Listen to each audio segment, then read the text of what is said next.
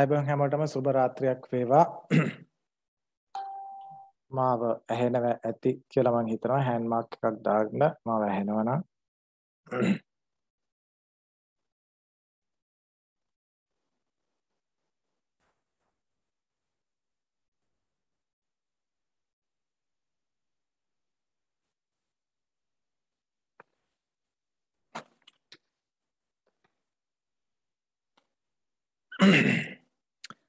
හරි එහෙනම් අද දවසේත් අපි කතා කරන ගිය සතියේ අපි සාකච්ඡා කරා ගංග වස්සානේ පද්‍යපන්තිය වස්සානේ පද්‍යපන්තිය. ඒක ඇතුලේ කතා කරන්න මොනවද? මොනවද ඒකේ තියෙන්නේ? සහ ඒකේ මොනවද අපිට රසවින්දනය කරන්න පුළුවන්? මේ කියන දේවල් අපි කතා කළා වස්සානේ පද්‍යපන්තිය ඇතුලේ. හරි එතකොට අපිට ඒ කතා කරපු දේවල් ඔස්සේ අපිට පුළුවන් අද දවසේ වස්සානේ මධ්‍ය පන්තියෙන් අහන ප්‍රශ්නවලට උත්තර සපයීම එහෙම නැත්නම් කොහොමද ඒ ਵਿਚාර ප්‍රශ්නවලට උත්තරයක් ගොඩනගන්නේ කියන එක ගැන කතා කරන්න. හරි එහෙනම් මෙතන සිට අපි කොහොමද වස්සානෙන් අහන ප්‍රශ්නවලට ਵਿਚාර ප්‍රශ්න වලට උත්තර ගොඩනගන්නේ කියලා ඉස්සරහට කතා කරගෙන යමු. හරි. මම ඩොකියුමන්ට් එක ෂෙයා කරන්න අපි ඒකත් එක්ක කතා කරගෙන මම ගෲප් එකට දැම්මා PDF එකක් ඔබට මුද්‍රණය කරගන්න කියලා මම හිතනවා මේක මුද්‍රණය කරගෙන ඇති කියලා. එහෙනම් මුද්‍රණය කරගෙන තියෙනවා නම් අපට වඩා ලේසි මේක ඉස්සරහට කතා කරගෙන යන්න පහසුයි. ඒ නැත්නම් අපි උත්සාහ කරමු තියාගෙන හරි ඉස්සරහට කතා කරගෙන යන්න. right. මම ඩොකියුමන්ට් එක ෂෙයා කරන්න අපි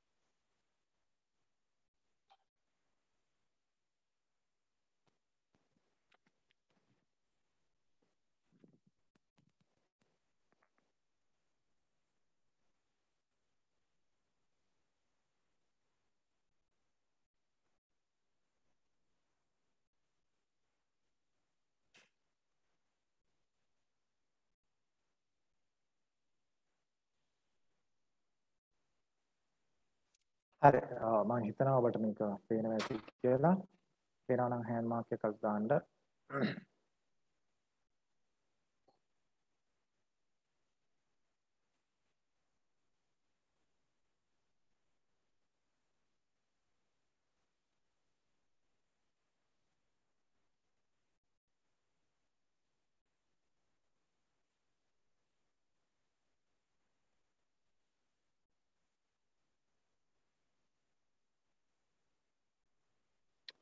හරි මම පොඩි ගීතයක් ඔබට නිකන් මතක් කරගෙන යන්න නිකන් මේක දැම්මේ. ඉතින් මම ඒකත් මතක් කරගෙන යන්නම්. මේ බානෙන් බැඳ රජ රට පෙදෙසින්නේ කෝච්චිය හිර ගෙයි läග එන්නේ පිහිය මුවහත කෙලසිඹ ගන්නේ උදයම මේකය නිසසල වන්නේ ඇගේ කිරෙන් බෝ දියදෝ වන්නේ උගෙන් මැඩූ බැත දනට පුදන්නේ. ඇගේ කිරෙන් බෝ දිය දෝ වන්නේ උන්ගෙම හම බෙර හඬට බඳින්. උන් බැඳී ගැල් නැග පන්සල් යන. ඉතින් මේ ගවයා සහ අපි අතර තියෙන ලොකු අන්‍යෝන්‍ය සම්බන්ධතාවයක්. සමහර වෙලාවට හරකයි අපි අතර සමාන වෙන්නේ බොහෝ විට නූතනේ නම් සමාන වෙන්නේ බොහෝ විට හරකන්ට වඩා හරකුන්ට වඩා හරක් වැඩ මිනිස්සු කරන නිසා හරකට ටිකක් වඩාත් සමීපයි. එහෙම බැලුවොත් මිනිසා සහ හරක අතර ලොකු සම්බන්ධතාවයක් තියෙනවා. මොකද හරක්ට වඩා ගොන් වැඩ මිනිස්සු කරන නිසා. එහෙම ගොන් වැඩ කරනවා කියලා අපිට මේ සමාජ අවකාශය දිහා මිනිස්සු දිහා මේ අයාගෙන බැලුවාම හොඳට වැටහෙනවා සහ තේරෙනවා. ඊට සමපාතව ඊට වෙනස්ව කල්පනා කළොත් අපේ කෘෂිකර්මාන්තක ආර්ථිකයක් තිබිච්ච ඓතිහාසික අපේ ඉතිහාසගත සංස්කෘතිය ඇතුලේ ගවයාට ලොකු තැනක් හිමි වුණා. ඒතර ගවයා සහ කුඹුරු වැඩ එහෙම නැත්නම් කෘෂිකර්මාන්තය අතර අවියෝජනීය වෙන් කළ නොහැකි බැඳීමක් තිබුණා. ඒ විතරක් නෙමෙයි ඒ කාලේ ගෙවල් වල බිම ගොම මැටි තමයි ගෑවේ. එතකොට බිම ගාන්න ගත්තෙත් ගවයාගේ ගොම ටික. ඊට පස්සේ බොන්න කිරට ගත්තේ එළදෙනගේ කිරි ටික. සංස්කෘතිය ඇතුලේ තියෙන කලාව උදෙසා වැයෙන බෙරේට හැම ගහගත්තේ ගවයාගේ හැමෙන්. එහෙ මෙහෙ යන්න කරත්තට බැඳලා තමන්ගේ ගමන් පහසු හදාගත්තේ ගවයාගෙන්. ඒක ගවයාගෙන් ලොකු සේවාවක් මිනිස්සුන්ට තිබුණා. කිරි රස දන්නෝ මව් හඳුනන්නෝ බත් රස දන්නෝ කෙත් හඳුනන්නෝ කිරි රස දන්නෝ මව් හඳුනන්නෝ බත් රස දන්නෝ කෙත් හඳුනන්නෝ බත් සහ කිරි රස දෙකම නොදන්නෝ මිනිසත් බව ලැබ කුමට උපන්? ලේකිරි අයිතිය වහු පැටි යන්නේ දම්සක් වල ගල වැඩි බිඳෙන්නේ. ඒ කිරි උදුරා බිව් මිනිසුන්නේ හිත්වල ඇයි කළ ගුණ නොරැඳෙන්නේ? සාමාන්‍යයෙන් දරුවෙක් අම්මෙක්ගෙන් කිරි බොන්නේ අවුරුදු 4ක් 5ක් විතරනේ. ඒත් මිනිස්සු මුළු ජීවිත කාලෙම. මේ වහු පැටියන්ගේ අයිතිය උදුරලා කිරි ටික බොනවා. ඒ කිරි බීපු ඒ කිරි රහ බලපු කටින්ම ඒ අහිංසක සතාගේ මස්සල තියෙන ලේ රහ අත්විඳිනවා නම් බත් සහ කිරි රස දෙකම නොදන්නෝ මිනිස්සත් බව ලැබ කුමට උපන්නෝ කියලා මේක කියන්නේ. සුනිල් ආරියත් සුනිල් දෙරසිංහයන් ගායනා කරන්නේ. මේකේ පද රචනාව ප්‍රේමකීර්තිද අලෙස් ඉතින් ප්‍රේමකීර්ති දාල්ලිස්ට ගවයා ගැන දැනෙච්ච විදිහ තමයි ඔය කියලා තියෙන්නේ. බත් සහ කිරි රස දෙකම නොදන්නෝ මිනිස්සත් බව ලැබ කුමට උපන්. හරි. ඉතින් ඒ සිතුවිල්ල තව කෙනෙකුගේ ජීවිතයේ අයිතිය සුරකීම උදෙසා පිට පොහොය දවසක් නිසා ඔන්න මං චුට්ටක් මතක් කරගෙන ගියේ. හරි එහෙමනම් අපි යම් වස්සානේ පද්‍ය පන්තියෙන් අහන පළවෙනි ප්‍රශ්නයට උත්තර සපයීම සඳහා ਵਿਚාරයක් කොහොමද ගොඩනගන්නේ කියන එක කතා කරන්නේ. ජනවහරත් සම්භාව්‍ය බසත් මනාව සංකලනය කරමින් පද්‍ය පන්තිය රසවත් නිර්මාණයක් බවට පත් කර ඇති ආකාරය නිදසුන් සහිතව විමසන්න. අපේ පළවෙනි ප්‍රශ්නේ. අපේ පළවෙනි ප්‍රශ්නේ තමයි ජනවහරත් සම්භාව්‍ය බසත් මනාව සංකලනය කරමින් පද්‍යපන්තිය රසවත් නිර්මාණයක් බවට පත් කර ඇති ආකාරය නිදසුන් සහිතව විමසන. පසුගිය සතියේ අපි රත්නශ්‍රී විජේසිංහයන් කියන්නේ කවුද? රත්නශ්‍රී විජේසිංහයන්ගේ කලා නිර්මාණවල තියෙන අගය, ඔහුගේ ගීත නිර්මාණවල තියෙන අගය, ඔහු තමන්ගේ අත්දැකීම් ප්‍රකාශනය සඳහා කොයිතරම් සමතෙක්ද කියන එක වගේ ගැන අපි කතා කළා. ඒ වගේම වස්සාන පද්‍ය පන්ති ඇතුලේ තියෙන කාව්‍ය උපක්‍රම භාෂා හැසිරවීම ස්වභාව సౌందර්ය අපූර්ව ලෙස වර්ණනා කරන හැටි වස්සාන සමය ඇවිල්ලා කිම්හා නිරුත්ව නිම වෙලා උතුරාහලන උලන්දා ඕයසහවට පරිසරයේ සිද්ධ වෙන සංසිද්ධි අපූර්ව කාව්‍යෝක්ති පාවිච්චි කරලා රත්නශ්‍රී විජයසිංහයන් අපූර්ව කාව්‍ය සංකල්පනාවලට යොදලා තියෙන හැටි අපි කතා කළා. ඒක ඇතුළේ තියෙන ව්‍යංගාර්ථයන්, මතු පිටාර්ථයන් සහ කාව්‍යාත්මක යෙදුම් ගැන අපි අවධානය යොමු කරමින් පද්‍ය පන්තිය රස ඒවා අධ්‍යක්ෂින් පාදක කරගෙන ඒ මතකයන් තවදුරටත් ආවර්ජනය කරගෙන නැවතත් ඒවා සිහි කැඳවමින් අපි මේ උත්තරේ ගොඩනගාගෙන යන් ඉස්සරහට එතකොට ඔබ මේක පිටපත් කරගත්තා නම් ඔබට තියෙන මේකේ ඔය හිස් තැන්වල ලියාගෙන යෑම තමයි තියෙන්නේ. එහෙම නැත්නම් ඔබට වෙන කොලයක් හරි මොකක් හරි අරගෙන මේ ප්‍රශ්නේ මේ විදිහටම ලියාගෙන අපිට උත්තරය මා කිව්වට පස්සේ ඔයාලට පුළුවන් උත්තරේ ලියාගෙන යන්න. ඉතින් ඔබ කැමති විදිහක් අනුගමනය කරන්න පුළුවන්. ජනවහරත් සම්භාව්‍ය බසත් මනාව සංකලනය කරමි. සංකලනය කියලා කියන්නේ එකට එකතු කරනවට. මොනවා හරි ටිකක් එකට එකතු කරනවට අපි එහෙම නැත්නම් ඉංග්‍රීසියෙන් මික්ස් කරනවට නේ අපි ඒකට කියනවා කලවම් කරනවා එකතු එකතු කරනවා කියලා. දැන් කරවෙලයි තක්කාලි අන්නාසි වගේ තුනක් එකට මික්ස් කරොත් ඒක මනා සංකලනයක් නෙමෙයි. ඒක නිකන් පිස්සු සංකලනයක්. ඒක කිසිසේත්ම ගැලපෙන්නේ නැහැ. එහෙම නොගැලපෙන සංකලනයක්. එතකොට මනා සංකලනයේදී ඒ මික්ස් කරන ඒවා එකට එකක් ගැලපෙන්න ඕන.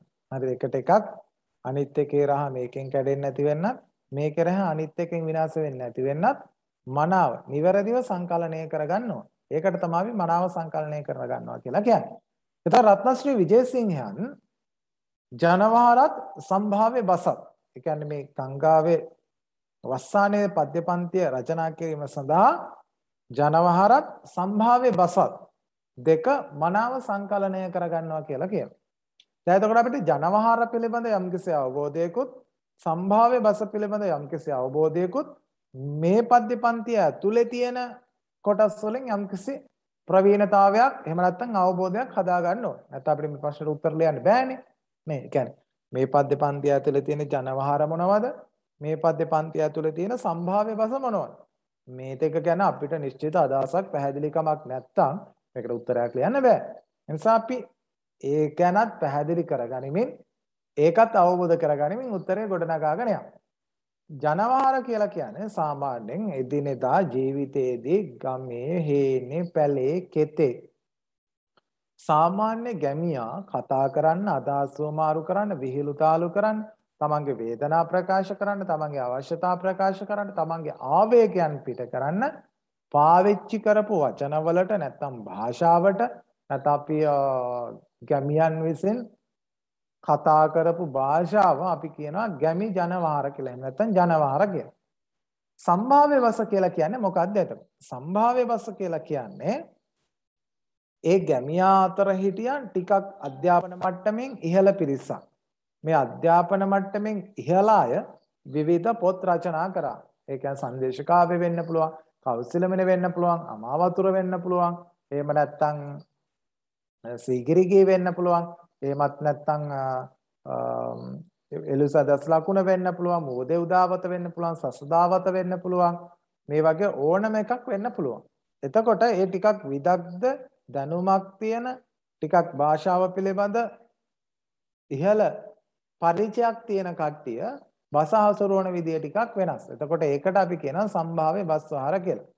දැන් උදාහරණයක් අඟුලිමාල දමනය. අඟුලිදාල දමනය කතා කරද්දී ඔයාට හම්බ වෙන්නේ හෙළබස.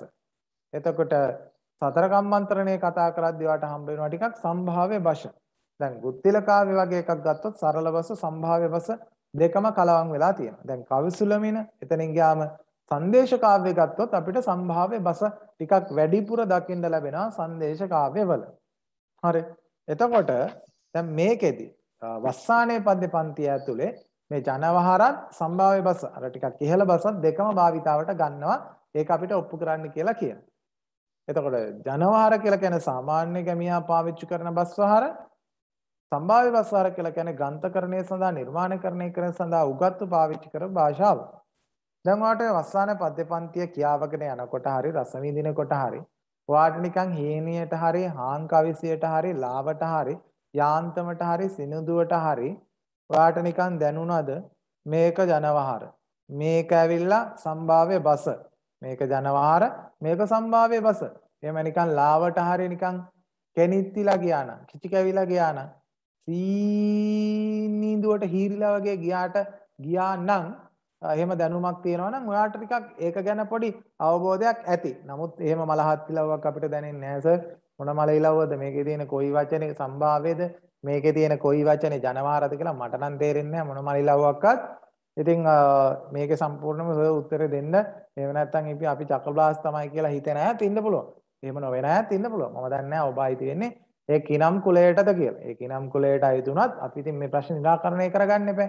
හරි. දැන් කොයික කරන්නත් කලින් අපිට ප්‍රශ්නයක් ඇහුවම ඔව් ජනවාරත් පාවිච්චි කළා දින සම්භාව්‍ය පාවිච්චි පාවිච්චි කළා දින අයි මොකද කියලා අහන්න බෑනේ අපිට එකපාරට. එහෙම අපිට ලියන්නත් බෑ ඔව් පාවිච්චි කළා දින. ඉතින් තමුසෙට මොකද කියලා ලිව්වා නම් එහෙම මාකින් ස්කීම් එකේ තමුසෙට මොකද එහෙම තියනවා වගේ එකක් නැති නිසා බලන එක්කෙනාට සිද්ධ වෙනවා මේ මොකද්ද කපා හරින්න. ඒ නිසා අපිට පිළිවෙලකට පැහැදිලිව උත්තරේ ගොඩනගන්න සිද්ධ වෙනවා. හරිද? එහෙනම් ඉතින් අපි පිළිවෙලට පැහැදිලිව ලස්සනට කලාත්මක උත්තරේ ගොඩනගාගෙන යනවා. එහෙනම් උත්තරයක් දැන් අපේ පළවෙනි උත්සාහය තමයි මොකද්ද? ප්‍රවේශය ලියන එක. දැන් මාත් එක්ක සම්බන්ධ වෙලා හිටිය, කලින් සම්බන්ධ වෙලා වුණු, දැන් සම්බන්ධ වෙලා ඉන්න. ඔබට යම් වැටහීමක් තියෙනවා. මොකද්ද ප්‍රශ්නිකට ප්‍රවේශය සඳහා පාවිච්චි කරන තොරතුරු ටික, දත්ත ටික කියලා. එතකොට ඔයා දන්නවා කවුද ලිව්වේ? මොකද්ද ඒකේ වස්තු විශේෂ? මොකද්ද එකෙන් කියන්න උත්සාහ කරන්නේ? ඒක ඇතුලේ තියෙන සුවිශේෂීතාවයන් මොනවද කියන එක තමයි සාමාන්‍යයෙන් අපි ප්‍රවේශය සඳහා ලියන මූලික තොරතුරු ටික. හරි. එහෙනම් ඔයාලා ලෑස්ති වෙන්න මේකට අදාළව අපේ පළවෙනි ප්‍රවේශය ලියන්න. මම හිතනවා ඔබ ලෑස්ති කියලා. ලෑස්ති නම් පෑන අතට අරගෙන, කොලේ අතට අරගෙන, නිබන්ධනය අතට අරගෙන රයිට් මාක් එකක්, හෑන්ඩ් මාක් එකක් දාන්න. එතකොට මට පුළුවන් වැඩේට බහින්න. right. මොකද කැමරාව ඔන් කරලා නැති නිසා මට පේන්නේ නැහැ ඔයා ඔළුවෙන් හිටගෙන ඉන්නවද එහෙම නැත්නම් ලාච්චු වාසේ ඔළුව දාගෙන ඉන්නවද එහෙම නැත්නම් නිදාගෙන ඉන්නවද? නිින්ද කියලා ඉන්නවද කියලා මට පේන්නේ නැහනේ. මේ පේන්නේ නැති නිසා අඩුම ගානේ එහෙම හෑන්ඩ් මාක් එකක්වත් දාලා ඔව් සර් මේ අපි ඇවිල්ලා ලාදුරු හැදිච්ච උන් නෙවෙයි අපිට අතපය වලට දැනෙනවා මේ ස්පර්ශ කරන්න පුළුවන් කියලා පොඩක් පෙන්වන්න නැත්නම් හිතෙනවනේ මේ ලාදුරු හැදිච්ච ළමයි සෙට් එකක්ද මේකේ මෙහා පැත්තේ කැමරාව ඉස්සරහා ඉන්නේ කියලා. හරි ඔයගලන්ට කැමරාව ඕෆ් කරගන්න එම මේ ඔන් කරගන්න බැරි වෙන්නේ එහෙම අවස්ථාව සලසලා නැහැ. ඕන කෙනෙක්ට කැමරාව ඔන් කරන්න පුළුවන්. මම හැමදාම කියන කැමරාව ඔන් කරගන්න කියලා. නමුත් ඉතින් හුඟක් අය කැමරාව ඔන් කරගන්නේ නැහැ. ඉතින් මේ කැමරාව ඔන් කරගත කියලා ලොකු ප්‍රශ්නයක් වෙන්නේ නැහැ. ඉතින් මටත් හරිය අමාරුයි මේ මේ පෑසර් එකක් දිහා මේ ලයිට් එකක් දිහා බලාගෙන මේ කැමරාවක් දිහා බලාගෙන කතා කරනවා කියලා කියන්නේ නිකන් නේද? එම්බාම් කරපු මිනිහෙකුට නිකන් මියුසික් ට්‍රැක් එකක් දාලා නටන්න කිව්වා වගේ සීන් එකක්. ඒක හරි ටිකක් අමාරුයි. ඒ නිසා පුළුවන් හැමෝම කැමරාව ඔන් කරගත්තා නම් අඩුම ගානේ ආ මේ මේ කලාමැදිරියෙක් හරි මෙතන ඉන්නවා කියලා මට පේනවනේ. අඩුම ගානේ මෝහිනේ මනමෝහිනේ හරි මහසෝන හරි මෙතන ඉන්නවා. ඌට තමයි මම මේ උගන්වන්නේ කියලා මට පොඩ්ඩක් දැනෙනවනේ. ඒ දැනෙන්න පොඩ්ඩක් ඉතින් කැමරාව ඔන් කරගන්න. හරිද? දැන් මම කැමරාව ඕෆ් කරගෙන ඉගෙනුවොත් ඔයාලට නිකන් පොඩි රේඩියෝ එක අහනවා වගේ සීන් එකක් නෙන්නේ. එතකොට නිකන් කම්මැලි පොඩි එකක් තියෙනවනේ කම්මැලි ගතිය. ඒ නිසා ඉතින් ඔයා පුළුවන් තරම් කැමරාව ඔන් කරගන්න. ඉතින් මූණ දෙන්න බැරි තරම් ප්‍රශ්නයක් ඔයාට නෑ කියලා මම හිතනවා. ඉතින් මූණ දෙන්න බැරි තරම් ප්‍රශ්න ඇති කරගන්නත් එපා. හරි? ඒ නිසා පුළුවන් තරම් කැමරාව ඔන් කරගන්න. මම හිතනවා ඒ කැමරාව ඔන් කරන්නේ නැති අය මහ බැංකු මංකොල්ලයට සම්බන්ධ අය ඊළඟට මේ තව ඔය ඔය පැන්ඩෝරා මුදල් ප්‍රශ්න වලට සම්බන්ධ කට්ටිය කියලා තමයි මං හිතාගෙන ඉන්නේ. ඉතින් ඒ අයට මං කියනවා පුළුවන් නම් කැමරාව පුළුවන් නෙවෙයි කැමරාව ඔන් කරන්න කියලා. මං කියන දේවල් ආන්න නැති අයට ditta ධම්ම වේදිනියම සාමාන්‍ය හුඟක් දේවල් සිද්ධ වෙනවා. ඒ නිසා මං කියන එක අහන්න පුරුදු වෙන්න ඕනේ. හුඟක් අයට මම කියපු එක නොකරපු අයට ලොකු ලොකු දේවල් වෙලා තියෙනවා. බය කරන්නේම නෙවෙයි කියන්නේ. ඉතින් කලින් කියලා තියන්න එපා නැත්නම් සර් කැමරාව ඔන් කරපු නැති ඉන්න මට මෙහෙම වුණා මගේ නහය පිච්චුණා මේ උණු වතුර වැක්කුණා නහයට ඊළඟට මුණ ඊයේ මේ කරපොත් එක්ක ලේවා කාලා වණ වෙලා ඒ වගේ ආරංචියම ඊළඟ දවසෙත් කියන්න වෙන හින්දා ඔය මම කලින්ම කියලා තිබ්බේ. ඒ නිසා මේ මට වගේ කියන්න බෑ මම මූණ පෙන්වන්න කියලා. ආයි කර පොත්වල ඒවා කාලා මීයෝ කාලා අරේ මේ තිබුණොත් එහෙම කැමරාව ඔන් කරන්නේ නැතු මට ඒවට වගේ කියන්න බෑ. ඔන්න මම නොකියුවයි කියන්න එපා. හොඳේ. හරි. ඒ නිසා හැමෝම කැමරාව ඔන් කරගන්න. මම එහෙම ප්‍රාර්ථනා කරන්නේ නැහැ. ඉතින් ගොඩක් අයට කැමරාව ඔන් කරන්න කියලා මගේ ක්ලාස් වල එහෙම නොකරපු අය පස්සේ මට මෙසේජ් දාලා තියෙනවා. සර් කිව්වා වගේ මගේ මූණේ නහය මීයක් කාලා. ඊයරා කරපොත්තේ ජරා කළා මේ එන පළුවක් ගිහිල්ලා සර්. එහෙම නැත්නම් ඊළඟ දවසේ මෙච්චර විතර පොල් ගෙඩියක් විතර කුරුල්ලා තඩියක් කියලා මූණෙන් භාගයක් නෑ සර්. ඒ වගේ ගොඩක් අය මට මැසේජ් කරලා තියෙනවා මේ මම කියන ඒවා අහන්න නැතුව. හරි? ඒ නිසා එහෙම වෙනවට මම කැමති නෑ. ඒකට හේතුවකුත් තියෙනවා. මේ මම කැමති කට්ටියගේ මූණ බලන්න. ඉතින් මේ අර අපේ පැත්තේ ගම්වල කියන්නේ සර් කටින් කිව්වොත් නම් ඉවරයි කියලා. ඒ නිසා කවුරුත් මගේ කටින් මොකවත් කියව ගන්න දෙන්නේ නැහැ. ඔය මේ බඩේ කැක්කුම්, පපුවේ කැක්කුම්, heart attack එහෙම තියෙන කට්ටිය ඇවිල්ලා අම්මෝ ඔයාට heart attack එකක් තියෙනවද? ඔයාට බඩේ කැක්කුමක් තියෙනවද කියලා අහුවම දොස්තර ගාවට යන්නේ නැහැ. දොස්තරට දෙන කාලා මට දීලා මගේ ලව්ව කියාගෙන වැඩේ සනීප කරගන්නවා. ඒ නිසා සමහර අය එහෙම කරලා සමහර ගස් දැකලා මම බුදු අම්මෝ ගෙඩි කියලා ඊළඟ දවසේ මුළු ගහම දබකහන් වෙච්ච තැන් වැඩි. ඈ අවස්ථා වැඩි. මේ අර කතාවක් තියෙන එක මේ ඔය එක අවස්ථාවක මේ මනුස්ස දෙනෙක් ඉඳලා තියෙන තරහයි. උන් දෙන තරහයි. තරහයි කොහමත්. අල්ලපු ගෙවල් වල එක මිත්‍ර කමින් ඉන්නේ උන් නෑනේ. අපේ රටේ අල්ලපු ගෙදර එකයි නේ ඌත් එක මොකක් හරි තරහයි. මූණිච්චාවට hina වුණාට යටින් තරහයි. හරි? උන්ට ඇහෙන්නේ නැති වෙන බැන බැන තමයි අපි අල්ලපු ගෙවල් වල එක ජීවත් වෙන්නේ. එහෙමනේ. අපි අපි එහෙමනේ. අපි එහෙම જાතියක්. එතකොට ගොඩක් වෙලාවට අහල පහල ඉන්නේ උන් එක අපි තරහයි. හරි? ඒකනේ එවුන් කියලා තේරෙන්නේ. මේ කියවෙන්නේ. එතකොට මේ එක ගමේ හිටිය ආච්චි කෙනෙක් මේ ආච්චි කිව්වොත් කිව්වා තමයි. මං වගේ තමයි. හරිද? කිව්වොත් කිව්වා තමයි. එයා කිව්වොත් ආයි ඉවරම තමයි. ඒ ගමේ සුප්‍රසිද්ධයි යා. ඉතින් එයාව ගෙනල්ලා මේ අර තරාකාරයාගේ ගෙදර තිබුණා හොඳට හැදිච්ච හොඳ ලස්සන කෝලි කුට්ටු පඳුරක්. දැන් මේ අනිත් එකාට පේන්න බෑ මේ කෝලි කුට්ටු පඳුරේ එන්න තඩි කේල් කෙනෙක් වැටලා දින අරුවට ඉවසියා ඉන්න බෑ. එතකොට මම දැක්කර ආච්චි පාරේ යනවා. පාර යනකොට කතා කරා මේ එන්නකෝ ආච්චි මගේ සුදු ආච්චි මේ එන්න කියලා කතා කරා. කතා කරලා ඇයි බොල ඇයි බොල අර බලන්නකෝ ආච්චි අර ඈත පේන ඈත පේන අර බලන්නකෝ කෝලි කුට්ට පඳුරක් තියෙනව නේද ඈත. කෝබම් මට පේන්නේ නෑ අර බලන්නකෝ ආච්චි අර ඈත කෙලවරේ අර එහා ඉඩමේ අර ඈත කෙලවරේ මට පේන්නේ නෑනේ බෑ. බලන්නකෝ ආච්චි ඔය පොල්ලත්තයි ගස් ලැබු ගහයි ඔය දෙලුම් ගහයි අතරින් පොඩ කොන්ද පොඩ කෙලින් කරලා බලන්නකෝ ආච්චි නමාගෙන මේ ඉන්නේ කියලා උඹට අර අච්චර දුර තියෙන එක පේනවද බොල. උඹගේ ඇස් දෙක නම් පුදුම ඇස් දෙකක් බං කිව්වා. හිතා ගන්න කොච්චද? හරිද? හිතා ගන්නකො එතකොට වෙච්ච දේ අනුන්ගේ කෙහෙල්කම් පෙන්වන්න කියලා නේ. උගේ ඇස් දෙකට ඊළඟ දවසේ මොනවා වෙන්න ඇතිද කියලා. ඒ නිසා ඒ වගේ සිද්ධි වෙනවා ඈ. නිසා මේ අද කැමරාව ඔන් කරගත්තාට බේරෙන්න පුළුවන් නැත්තම් තීනෙන් බය වෙලා ඇඳේ චූ හරි යනවා ඈ. ඒ නිසා කැමරාව ඔන් කරගන්න. හරි. ඒ නිසා අනිවාර්යෙන් මොකක් හරි එකක් වෙනවා. හරි. දැන් එතකොට ප්‍රශ්න දන්නවනේ ජනවහර සහ සම්භාව්‍ය බස. ජනවහර සහ සම්භාව්‍ය බස. එතකොට අපි ඔන්න ප්‍රවේශය ලියාගෙන යන්න. දැන් ලෑස්ති වෙන ප්‍රවේශය ලියන්න. හරි. එතකොට දැන් ඔය කැමරා ඔන් කරගෙන ඉන්නේ නැහැ. හෙට සූට් ටිකට් එකක් ගන්න ටවුන් එකට යනවා හැදෙන්න පුළුවන් ඈ.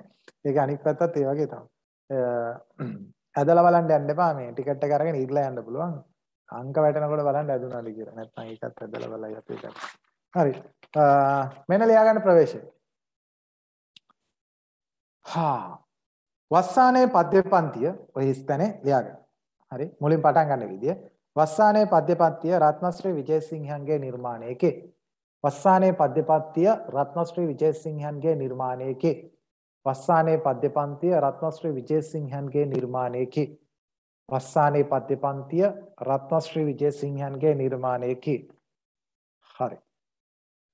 කොළඹ යුගයේ නිසඳස් කවි පරපුර නියෝජනය කරන කවියකි.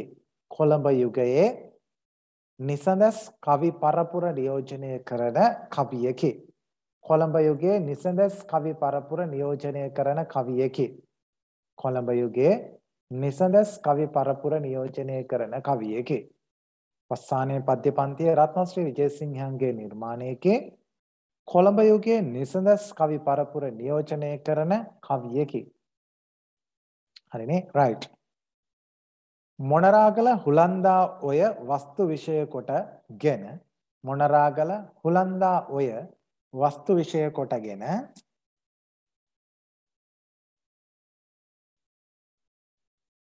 රචනා වූවකේ.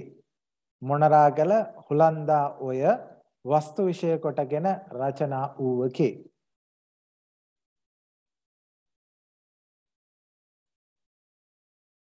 රචනා වූවකේ. පුලන්දා ඔය පුලන්දා ඔයත්.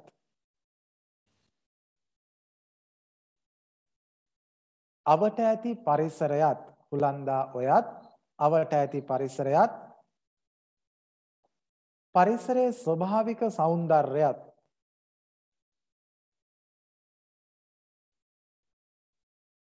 අවට ඇති ස්වභාවික సౌందර්යයත් අපූර්වට විදහා දක්වන පද්‍ය පන්තියකේ.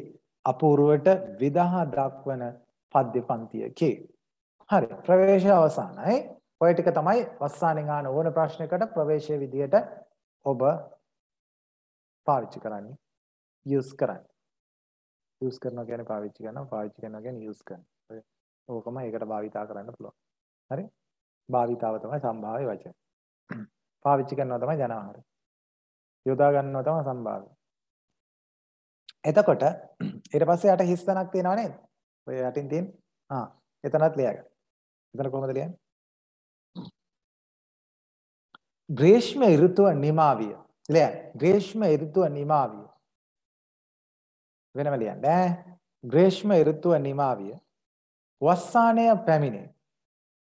ග්‍රේෂ්ම ඍතුව නිමාවිය වස්සානයේ පැමිණේ. දැන් ඉතින් අත වෙවුලන්න එපා ඍතුව කියලා ලියන්නේ කොහොමද කියලා.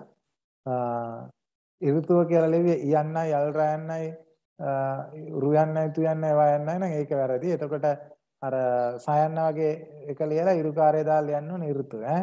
නැත්තම් වැඩේ වරදිනවා. ග්‍රේෂ්ම ඍතුව නිමාවිය වස්සානය පැමිණේ හුලන්දා ඔය ජලයෙන් පිරේයයි හුලන්දා ඔය ජලයෙන් පිරේයයි හුලන්දා ඔය ජලයෙන් පිරේයයි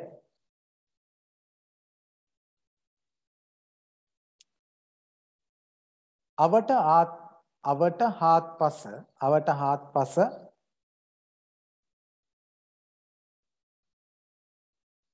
ගහකොළ මල් පිබිදේ. ගහකොළ මල් පිබිදේ. අවට හාත්පස ගහකොළ මල් පිබිදේ.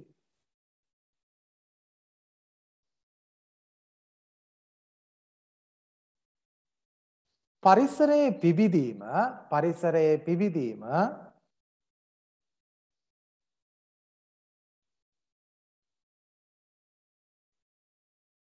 බසින් රස ගන්වා බසින් රස ගන්වා බසින් රස ගන්වා. පද්‍යයෙන් සහෘදයාට එක් කරයි. පද්‍යයෙන් සහෘදයාට එක් කරයි. පද්‍යයෙන් සහෘදයාට එක් කරයි. සම්භාව්‍ය බසහා සම්භාව්‍ය බසහා සම්භාව්‍ය බසහා ජනවහර මනාව සංකලනය කරයි. සම්භාව්‍ය බස හා ජනවහර මනාව සංකලනය කරයි. සම්භාව්‍ය බස හා ජනවහර මනාව සංකලනය කරයි. හරි. දැන් අපි වස්තු විෂය කිව්වා. මොකද්ද වස්තු විෂය? ඒ තමයි ගිම්හාණය නිමාවේ වස්සාණය එනවා. හුලන්දා ඔය ජලයෙන් පිරෙනවා. අවට හාත්පස ගහකොළ මල් පිබිදෙනවා ස්වභාව సౌందර්යයේ අසිරිමත් භාවය පද්යෙන් සහෘදයට ගෙනල්ලා දෙනවා. සම්භාව්‍ය වසත් ජනවහරත් ඒ సౌందర్యාත්මකව ගෙනල්ලා දෙන පද්‍යයට කවියා මනාව සංකලනය කරගන්න. ඔකනේ අපි කියන්නේ. හරි. දැන් මෙතන ඉඳලා අපි පෙන්වන්න ඕනේ.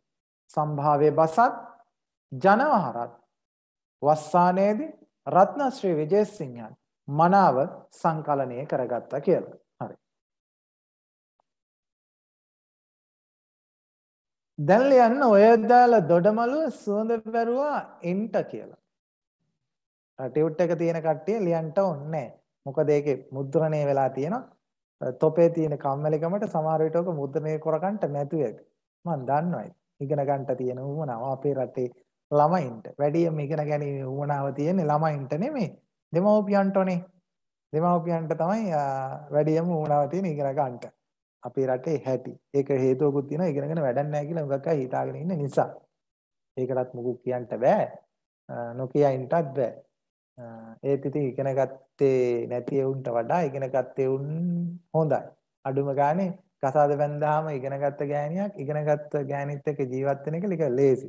අඩුම ගානේ කසාද බැන්දොත් ඉගෙන ගත්ත මිනිහෙක්ව ඒ මිනිහත් එක්ක ටිකක් ජීවත් වෙන්න ලේසි. නැත්තම් ඉතින් ඉගෙන ගත්තේ නැති එකෙක් මැරගත්තොත් එහෙම ඌ ඌ බඳපු දවස් ඉඳලා උගන්වන්න තමයි ලෑස්ති වෙන්නේ. හරි. ඌගේ ඌගේ රාජකාරී තමයි බඳපු දවස්වල උගන්වනවා. ඒ උගෙනගෙන නැහැ. එහෙම ප්‍රශ්න තියෙනවා. අඩු නෑ. මම කියන්න උත්සාහ කරන්නේ ඉගෙනගත්ත මිනිස්සුත් එක්ක ජීවත් වෙන්න දේසි. එහෙම කිව්වට සර් අවුල් තියෙන ඇත්ත ඇති. මම කියන්නේ මේ කටපාඩම් කරලා ඉගෙන ගත්තේ උන් නෙමෙයි. මේ ඇතුලේ ජීවිතය ඉගෙන ගත්තේ උන් එක පොඩ්ඩක් ඉගෙන ජීවත් වෙන්න ලේසි. මොනවා ඉගෙන ගත්තොත් නැහැ ජීවිතය ඉගෙන ගන්න නැතු. හරිද? ඔය දාල දොඩමළුවේ සුවඳ බැරුවා ඉන්ට දැන් මෙතන කියන්ට මට තියනවද ජනවහරට හරි සම්භාව්‍ය වහරට හරි හුරුවට යන වචන එකක් දෙකක් තුනක් ඔබට හිතට හැඟෙන. නෑ සෝර්. අනේ මන් මට නම් දැනෙන්නේ අප්පා. හරි. මං කියන්න. තියාගන්නකො. හරි. දැන් ඔතන තියෙනවා ඔය දාලා දොඩමලුය සුවඳ බැරුවා ඉන්ට කියලා. දැන් සම්භාව්‍ය බසේ නෑ පුතා. ආ ඔය ඉන්නේ කවිද රවිෂ්ක කියනවා ඉන්ට දොඩමලුය කියලා අපි දොඩමලු වෙලා ඉමු තව පැයකට වඩා ආසන්න කාලයක් තියෙනවා ඉන්ට දොඩමලු වෙලා කියලා ඔය ඉතින් අපි දොඩමලු වෙලා ඉමු තව පැයක් තියෙනවා හරි එන්ට සහ දොඩමලුය කියලා දාලා තියෙනවා. ඒක සම්භාව්‍යද එහෙම නැත්නම් ජනවහරද කියලා දාලා නැහැ. ඒ ගැනත් දොඩමලුවක් දැම්මොත් කවිෂ්ක මට ඒ දොඩගලුව ගැන තව ටිකක් දොඩමලුවෙන්ට තිබ්බා. හරි. මං හිතනවා ඒ දොඩමලුවට ඒ දොඩමලුවත් එකතු කරයි කියලා. හරි. අන්න දැම්මා ජනවහර. හරි කවිෂ්ක නෙවෙයි රවිෂ්ක. ඔව්. අන්න හරි. ඒකේ තියෙනවා ජනවහර. ඔය දෑල දොඩමළුවේ සුවඳ බැරුවා ඉන්ට යන්ට එන්ට කන්ට බොන්ට නලවන්ට මිරිකන්ට පෙරලන්ට සිතන්ට එහෙම පාවිච්චි කරන්නේ ජනවහරට දොඩමලු ලෙංගතු ලබැඳී රසමුසු මුහුව හමුව ගොනුව එහෙම කියන්නේ ජනවහර තමයි. හරිද? එතකොට ඕක ඇතුලේ ජනවහර තියෙනවා කියලා ඔයාට තේරුණා නම් ආයෙ ඉතින් මොකටද දොඩමලු වෙවි ඉන්නේ? අපි එහෙනම් ඉතින් ඊටු ටිකත් කොහොම ලියාගෙන යන් ඉස්සරහට. එන ලියන්ටකො බලන්න. ඔය ජලයෙන් පිරේ. ඔය ජලයෙන් පිරේ. කලබල වෙන්න එපා සිංක් එකේ ටැප් එකේ එහෙම අරලා හිතලා නෙමෙයි මම මේ කිව්වේ. ඔය කියලා කිව්වේ අර හුලන්දා ඔය. හරි ඕන්නම් මුලට හුලන් දාගන්න. හරි හුලන්දා ඔය. හුලන්දා ඔය ජලයෙන් පිරේ. ජල රැලි ඉවුරු දෑලේ මත ජල රැලි ඉවුරු දාල මත ගැටේ.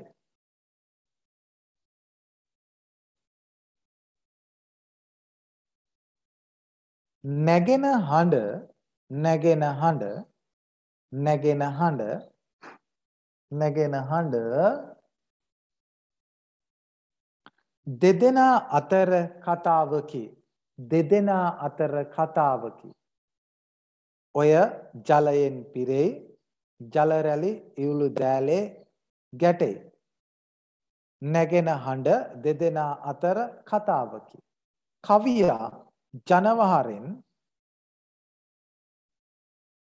රස ගන්වන්නේ කවියා ජනවහරෙන් රස ගන්වන්නේ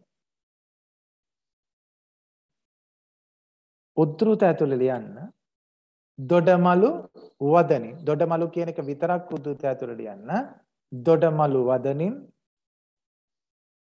සුවඳ බැරුවා ඉන්ට සුවඳ බැරුවා ඉන්ට කියන එකත් උද්දුත කරන්න. සුවඳ බැරුවා ඉන්ට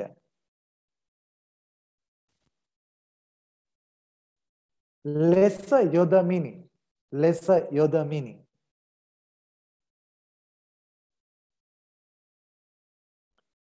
ජනවාර භාවිතා කිරීමේ කවියා සතු හුරුව ජනවහර භාවිතා කිරීමේ කවියා සතු හුරුව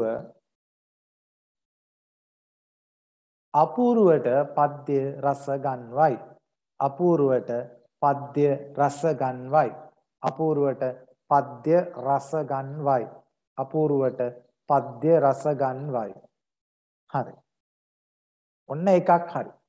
දැන් දන්නවා සර් එකක්. ඔය දාල දොඩමලුවේ සුවඳ බැරුවා ඉන්ට කියන්නේ ජනවහර. ආ දැන් ඒක ලියා ගන්න පුළුවන් අපිට. එහෙනම් යන් දෙකට. මොකටද ඉන්නේ බලාගෙන? පුරපසේ සඳ එක්ක තරඟයට මෝරන්ට පුලන්දාවය කිමද මල්වරව ඉල්මහට අර කලින් දොඩමල්ලු වෙච්ච රවිෂ්කට ආයි පුළුවන් දොඩමලු වෙන්න පුරපදේ සඳ එක්ක තරඟයට මොනවද ඒක ඇතුලේ තියෙන වචන ජනවහරේ හුරුවට? දාන්න පුළුවන් chat box එකට ඉක්මනට.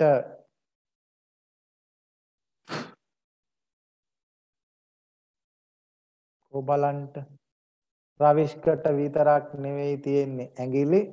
පිහිටලා නිවැරදිව හරියට අනිත් අයටත් පුළුවන් කොටන්න හිතෙනවා නම් මෙන්න මේවා ජනවහරට ලියවුණු වචන කියලා දාන්න chat box එකට. ආ සචිනි සචිනි කියනවා මෝරන්ට කියලා. මෝරන්ට තව කියනවා මල්වර. එතකොට රවිෂ්ක කියනවා සර් ආයේ එක කියන්නකෝ කියලා. දැන් මොකද්ද ඔය මට කියන්න කියලා කියන්නේ කියලා යටින් දැම්මා නම් මට කියන්න තිබ්බා. ඊළඟට ඉල් මහට හරි ඉල් මහට පුරපසේ කට්ටිය දානවා පුරපසේ ඔය දාන්නේ ඔය වැටෙන්නේ ඔය දිගට වැටෙන්නේ හරියට යනවහරට තියෙන වචන තමයි ඔය පිළිවෙලට ඕගොල්ලෝ දාගෙන දාගෙන යන්නේ chat box එකට. හරි. එහෙනම් ඉතින් දැන් දන්නවනේ ඕකස්සේ තියෙනවා කියලා ජනවහරට හුරු වචන. එහෙනම් ලියමු ඉස්සරහට. එහෙම ලියන්න.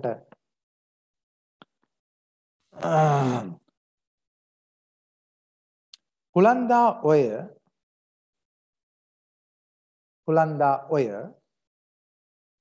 එවුරු තලා ඉතිරියයි. කුලන්දා ඔය එවුරු තලා ඉතිරියයි. කුලන්දා ඔය එවුරු තලා ඉතිරියයි.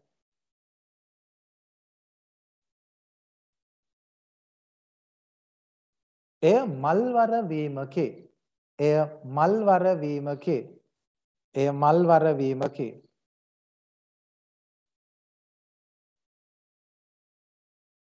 පුරපසේ සඳ පුරපසේ සඳ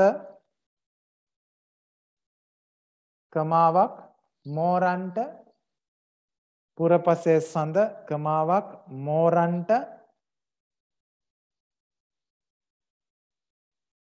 එල්මහට කමාවක් එල්මහට කමාවක් අපූර්ව ගැමි ව්‍යවහාරෝචිත වදන්.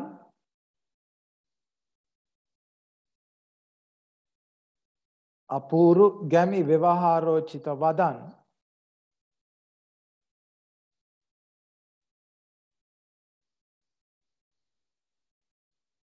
පද්‍ය පන්තිය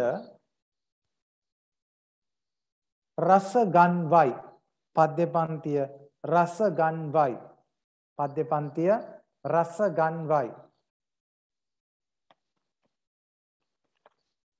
හරි. ඒකට එච්චරයි. අපි යන් ඉස්සරහට දෙවට දිග කරඳවැල් ආරුක්කු යටසඟව වැහි වලාකුළු රංචු කඳු මුදුන්වල ලගින දෙවට දිග කරඳවැල් ආරුක්කු යටසඟව වැහි වලාකුළ රංචු කඳු මුදුන්වල ලගින් දැන් වැස්ස වැහැලා හුලන්දා ඔය ඉතිරිලා මල්වර වෙලා දෙවුර තලාගෙන වතුර පිටාර ගලන. පිටාර ගලන වතුර වල තියෙන පෝෂණ ගුණය උරාගෙන හොලන්දා ඔය දිගට පියවර තබන්න තියෙන අඩිපාර දිගේ දෙපැත්තේ කරඳ ගස් හැදිලා. ඒ කරඳ ගස් වල අතු දෙවට දිගේ පාරට වැටිලා. ඒවැ මල් පිපිලා. ඒ පාරට වැටිලා තියෙන හරියට ආරුක්කු වගේ. එතකොට අහලා ඇති පරණ කාලේ පාලං જાතියක් තිබ්බා. ඒ පාලං වලට කිව්වේ මොන පාලං කියලාද? ඒවට කිව්වේ ආරුක්කු පාලං කියලා. ආරුක්කු පාලං. මේ ආරුක්කු පාලං කිව්වේ ජනවහරේ එන බස්. එහෙනම් ආරුක්කු කියලා කිව්වේ ජනවහර. ටිකක් දෙමළ වචනයකටත් හුරුයි. වැහි වලාකුළු පංච කඳු මුදුන් වල ලගින. ලගිනවා කියලා කියන්නේ මේ හරකා මෙතන läගලා ඉන්නවා. මේ බල්ලා මෙතන läගලා දුක් බල්ලා කියලා පයින් ගන්න. ඒක තමයි ජනවහර කියලා කියන්නේ. හරි. එතකොට ලගිනවා මේ රංචු රංචු ගැහෙන කොළු රෑනේ මේ රංචු ඒවා ජනවහර. හරි. එහෙනම් දන්නවනේ ඒකේ දෙවැට කරඳවල් ආරුක්කු රංචු ලගින ඔය තියෙන ජනවහර. ලියමු. ඔයට පිවිසෙන මාවත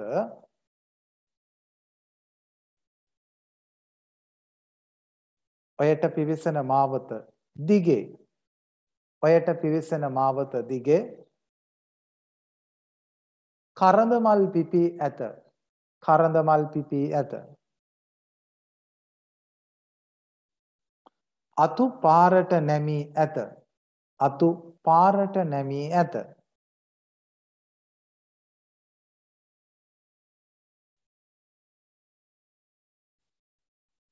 ආරුක්කු උද්ෘත ඇතුළට යන්න.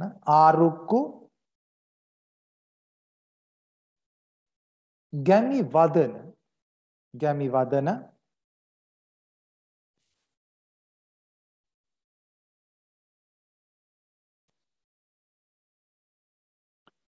පාරට නැමි.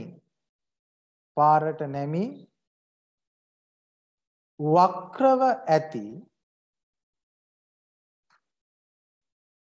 කරඳ අතුවල ස්වභාවය. කරඳ අතුවල ස්වභාවය. කරඳ අතුවල ස්වභාවය.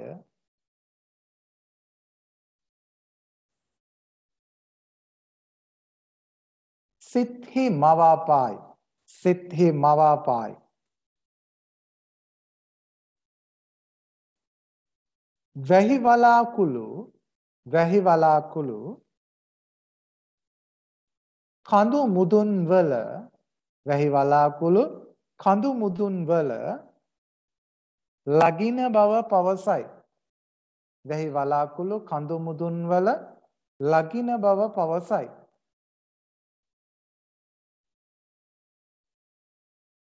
ලගින යන ගැමි වදන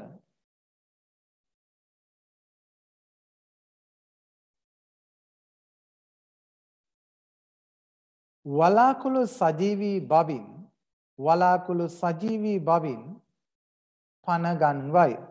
වලාකුළු සජීවී බවින් පනගන්වයි. වලාකුළු සජීවී බවින් පනගන්වයි.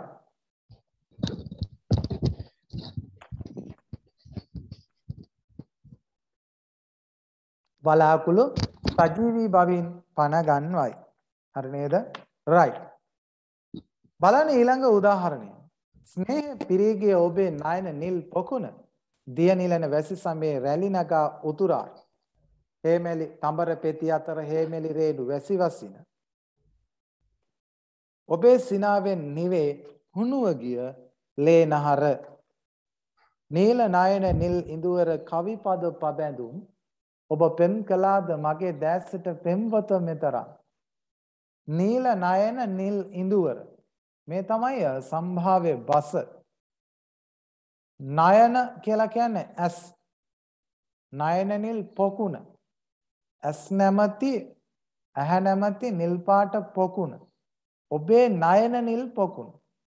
දැන් ජනවහරේ කොයි වෙලාවත් ඇස් දෙක වාගේ හිටිය දෙන්නට මේ මොකද වුනේ කියලා කිව්වා මිසක් නයන වගේ හිටිය දෙන්නට මේ මොකද වුනේ කියලා කියන්නේ හැබැයි ඉතින් නයන කියලා නම් තිබ්බා.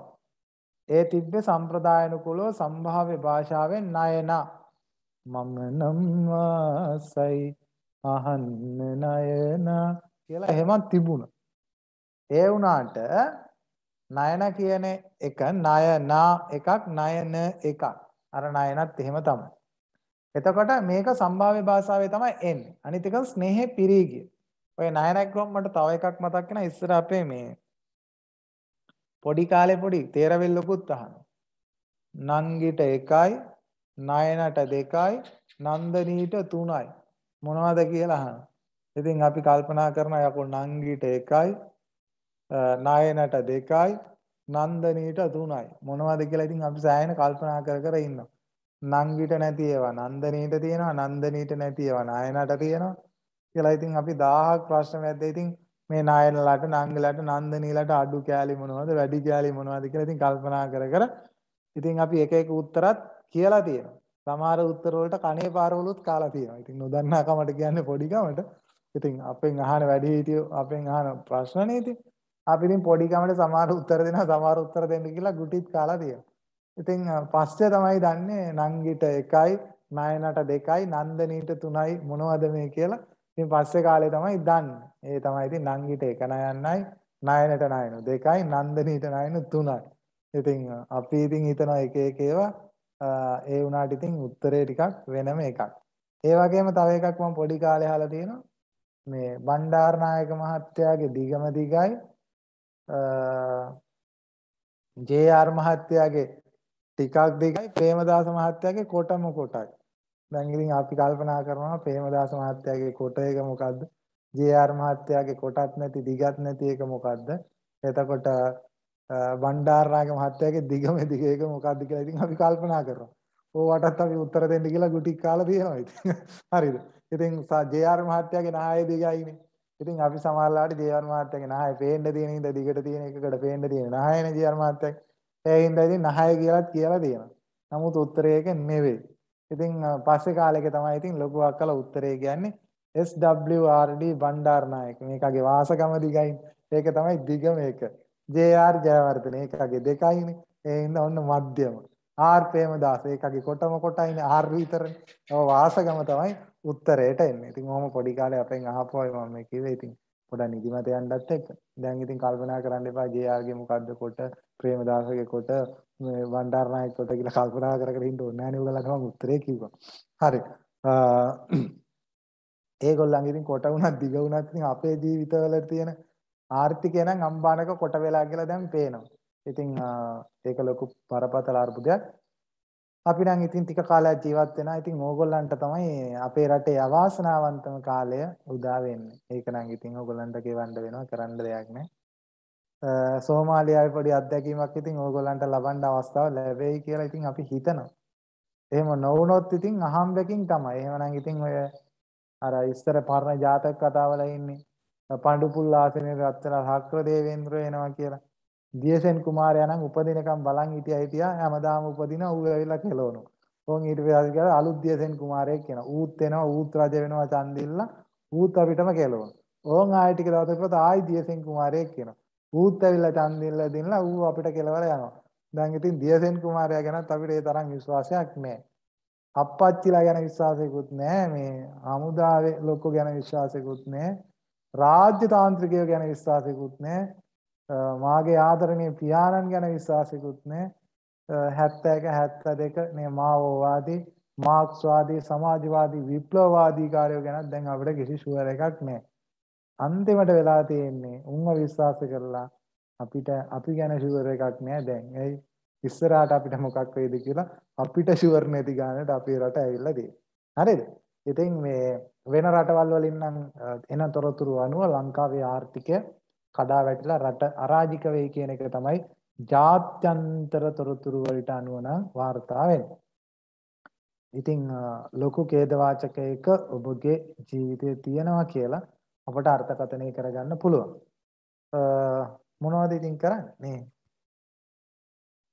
ලබා උපන් හැටියට කියනනේ බබා වෙනෙන්නේ. ඉතින් වැනෙන බබේ කඩාගෙන ඉඳයි තියෙන්නේ. හරි. හැබැයි ඉතින් හෙට අනිත් ඡන්දෙල්ලන්ට ගෙදෙට්ට આવොත් පුළුවන් නම් දෑත බදලා වහරන්න.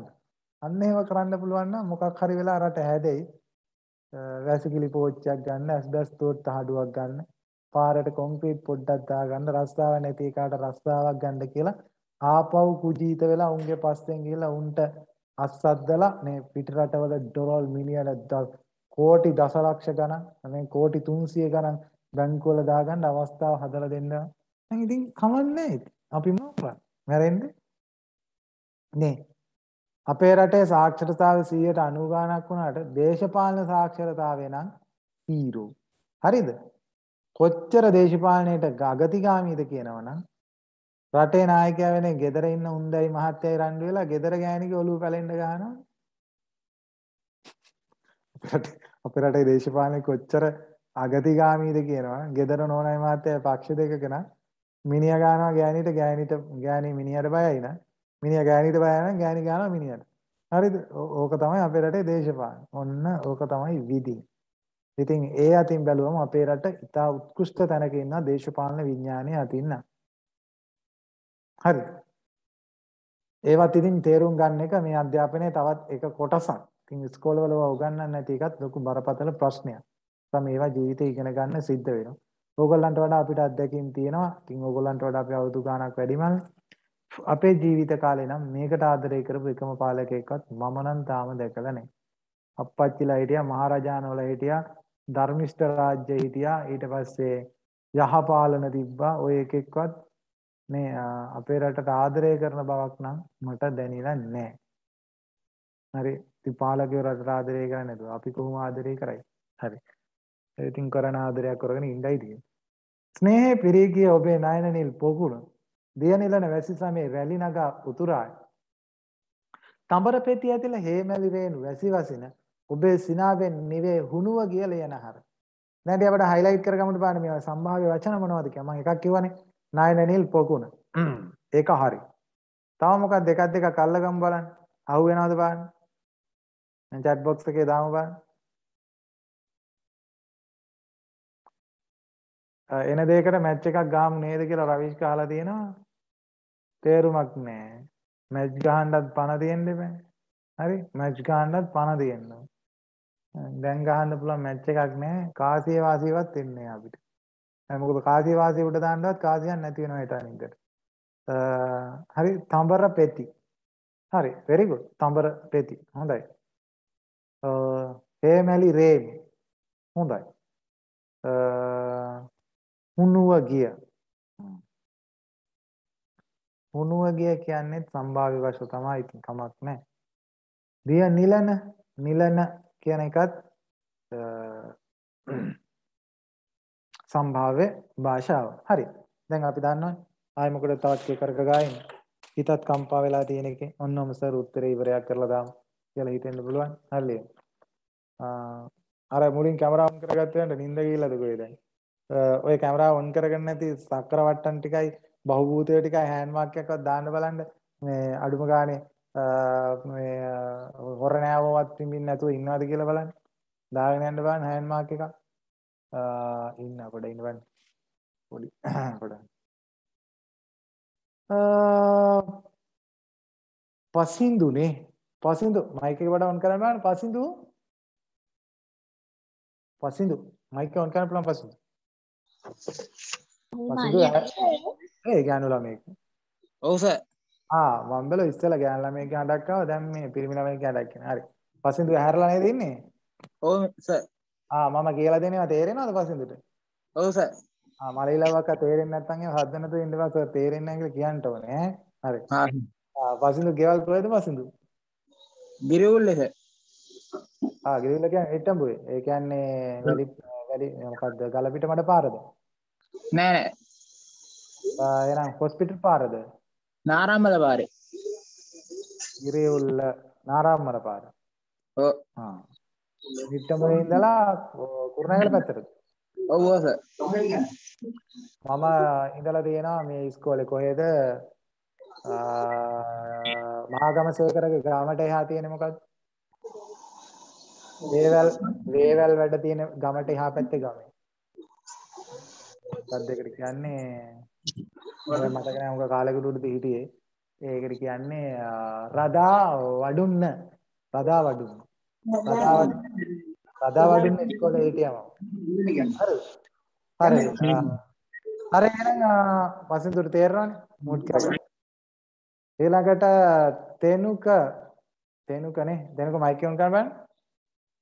මම කොහෙද ඉන්නේ කියලාත් බලන්න. තෙනුක ඔව් සර් ආ රයිට්. තෙනුක කොහෙද තෙනුක? මං කිරිබත් ගොඩ කිරිබත් ගොඩ තිලකවර්ධන ටෙක්ස්ටයිල් එක තමයි ඉතින් අපි වැඩිපුර දන්නේ. කැම්පස් එකට එහාද කැම්පස් එකට එහාද මෙහාද? මාකොල්ල පැත්ත මාකොළ පැත්තේ. හරි. ඒ පැත්තේ තියෙනවා කිරිඳිවැල රාජසිංහ සෙන්ටර් තියෙනව නේද? රාජසිංහ මධ්‍ය විද්‍යාලය කියලා තියෙන පාරයිනේ කඩවත කිරිල්ලවල රාජසිංහ විද්‍යාලය කියලා තියෙනව නේද? ඒක ටිකක් දුරේ සර් ආ ඒකේ මම ඒකෙත් කාලයක් වැඩ කරලා තියෙනවා. ලංකාව මතන වැඩ කරලා තියෙන බලන්න. හරි. කඩවත කිරිල්ලවල රාජසිංහ කියලා විද්‍යාලය. හරි. පස්සේ අපේ ඉන්නවා කවුද මේ රවිෂ්ක. රවිෂ්ක මයික් එක ඔන් කරන්න පුළුවන් රවිෂ්කර ඔව් සර් කියන්නේ. ඇහෙනවද මාව? ඔව්. රවිෂ්කද කැමරාව ඔන් කරන් ඉන්න තරුණ කොළු ගැටයා ඔව් සර් ආ හරි. එතකොට රවිෂ්ක කොහෙද රවිෂ්ක? මම නුවර සර් නුවර නේ? නුවර කොහෙද නුවර බොක්කාවල කොහෙද බොක්කාවල ඒක මට හරියට හමුන්නේ පූජා පිටිය බොක්කාවල ආ පූජා පිටිය නේ පූජා පිටිය ඒක මාලිගාවට එම කිට්ටුද මම දන්නේ නැහැ පූජා පිටිය කියන අය එච්චර මීතු නෑ ඔව් මාලිගාවට මට. තේවාව එහෙම ඇහෙනවද නෑ එච්චර ළඟ නෑ එච්චර ළඟ නෑ අ, එතකොට පේරාදෙනියට කිට්ටුනේ නේ ඔව් ආ ඉතින් අපේ අර ජුරාසික් කවුද ඩයිනෝසර් කෙනෙක් එහෙම ඉන්න උද්‍යානයක් තියෙන ශ්‍රී ලංකාවේ යනවද හරි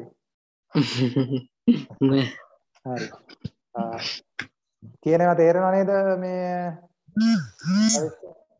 ඔව් සර් හරි මැසේජ් එකක් ආව රවිෂ්ක එකක් බලා ගන්න. අ ඊළඟට අපිට හම්බ වෙනවා කවුද? බලමු කට්ටිය. ජයමිනි පෙරේරා. ජයමිනි මයික් ඔන් කරන්න පුළුවන් ජයමිනිට. ජයමි ජයමි නේ ජයමි. ජයමි නම් ඉඳ ගිහිල්ලා. ජයමි හරි ඊට පස්සේ බලමු. ඉමුදු නවෝදයා ඉමුදු. හරි ඉමුදු කොහෙද ඉමුදු? ඉම්- ඉම්ම- කන්තලේ. ඉමුදු නේද? ඔව් කන්තල්ලේ කොහෙද කන්තලේ කන්තලේ වංගල වාංගි කන්තලේ කලහර පැත්තට කිට්ටු නේද නැහැ ට්‍රින්කෝමල්ලේ ආ තින්කොමද නේ ආ කන්තලේ හරි ත්‍රිකුණාමලේ ඉතින් අපි ත්‍රිකුණාමලේ නම් ඇවිල්ලා ඉතින් ඔය බීච් එකට ඇවිල්ලා නාග විහාරේ ආ ඒක නෑ යාපනයේනේ ත්‍රිකුණාමලේ ඇවිල්ලා තියෙනවා ආ, ඉතින් ට්‍රිප් තමයි ඇවිල්ලා තියෙන්නේ ඇවිල්ලා මේ අපි අපේ පැත්තේ තියෙන නමින් හකුරු අරන් ඇවිල්ලා තියෙනවා. මේ එක කිතුල් ගහක්වත් නැහැ.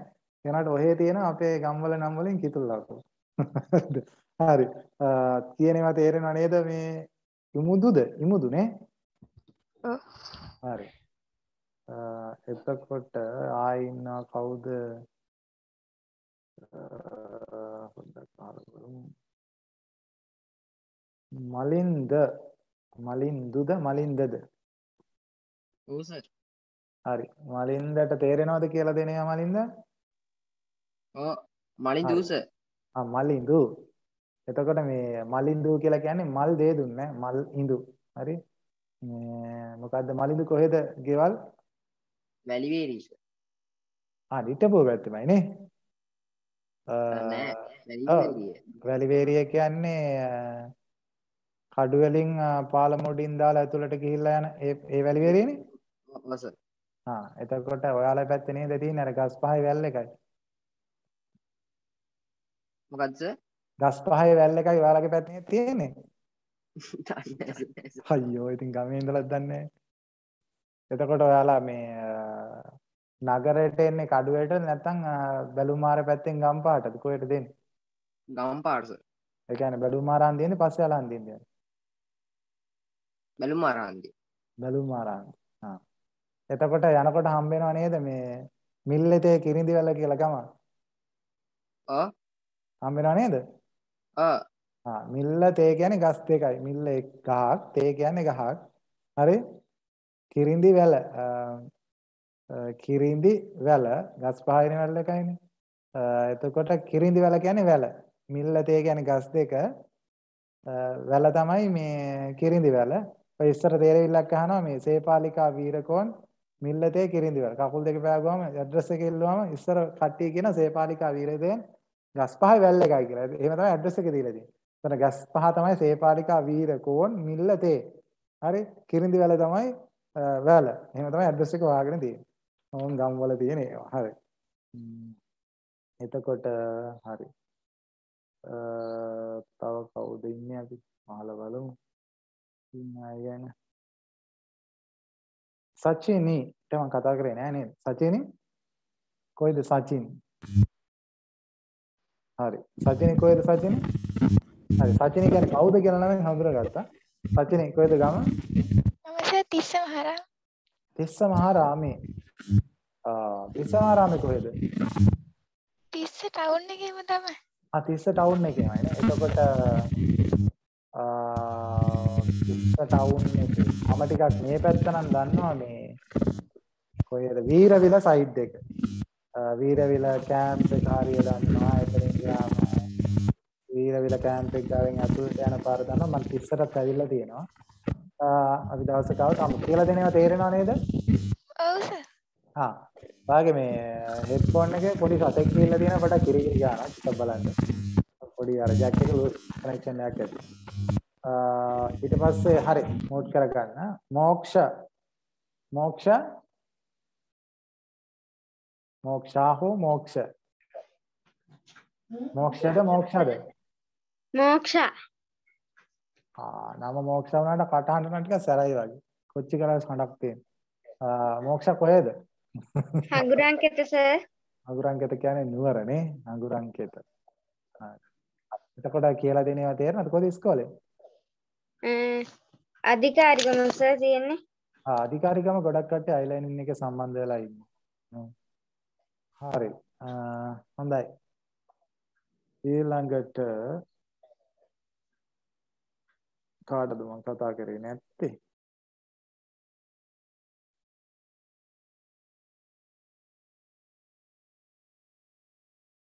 ජයමිට තමයි කතා කරේ නැත්තේ. ජයමි මයික් ඔන් කරන්න පුළුවන් ජයමිට ජයමිට මයික් ආ ඔන්න උනා ඔන්න වෙලා ආය ඔෆ් ජයමි හරි. ඇහෙනවද ජයමි ආ එහෙනම් ජයමි කොහෙද ජයමි කොළඹ සර් කොළඹ කොහෙද?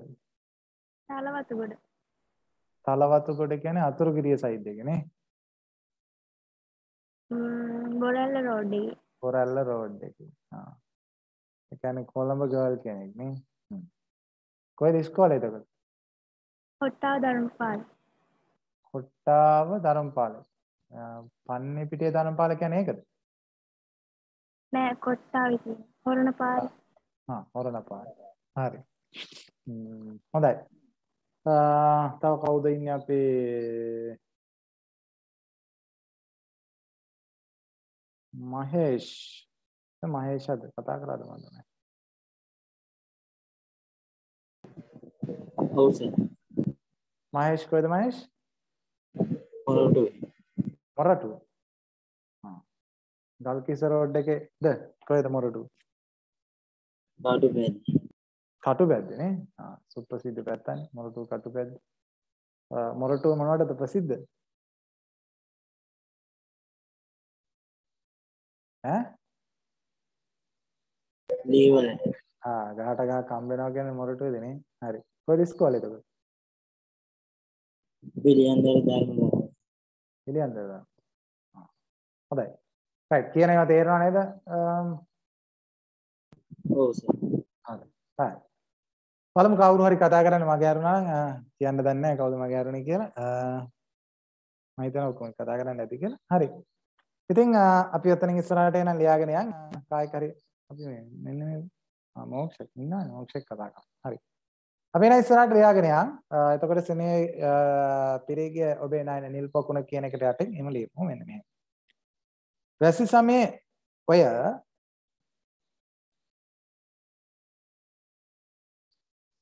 නීල වර්ණ ඇසකි වැසි සමේ ඔය නීල වර්ණ ඇසකි වැසි සමේ ඔය නීල වර්ණ ඇසකි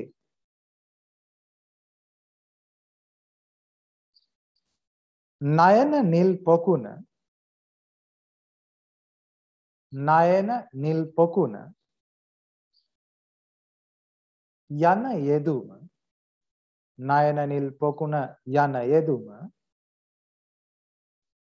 සම්භාව්‍ය පද්‍ය සාහිත්‍යයේ ඇසුර ලබයි. සම්භාව්‍ය පද්‍ය සාහිත්‍යයේ ඇසුර ලබයි. වැසි සමේ ඔය නීල වර්ණ ඇසකි. නයන නිල් පොකුණ සම්භාව්‍ය පද්‍ය සාහිත්‍යයේ ඇසුර ලබයි.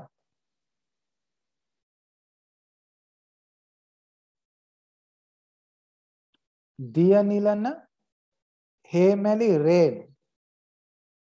කමාදදාලියන දිය නිලන හේමැලි රේණු තඹර පෙති.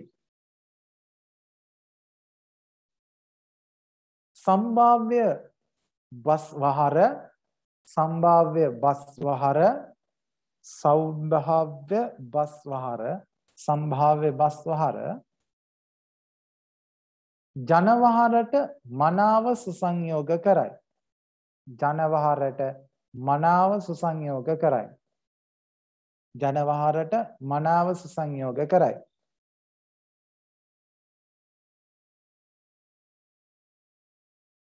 ඒ පද්‍යයට එකතු කරන්නේ ඒ පද්‍යයට එක් කරන්නේ ඒ පද්‍යයට එක් කරන්නේ අපූර්ව රසයකි. ඒ පද්‍යයට එක් කරන්නේ අපූර්ව රසයකි. ඒ පද්‍යයට එක් කරන්නේ අපූර්ව රසයකි.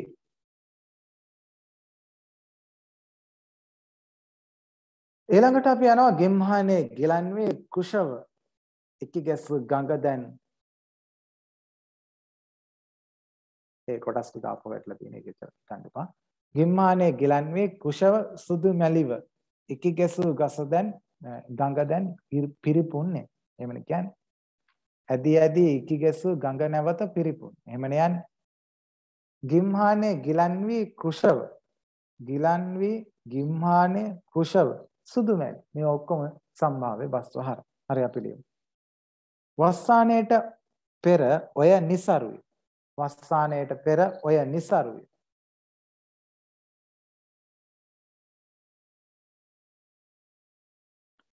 ගිම්හානේ ගිම්හානය ගිම්හානය වස්සානයට පෙර ඔය નિසරුයි.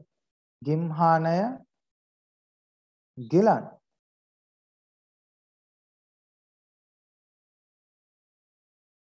කෘෂ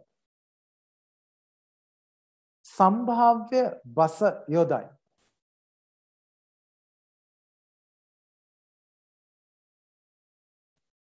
ඉරිතලි වියලී ගිය ඉරිතලි වියලී ගිය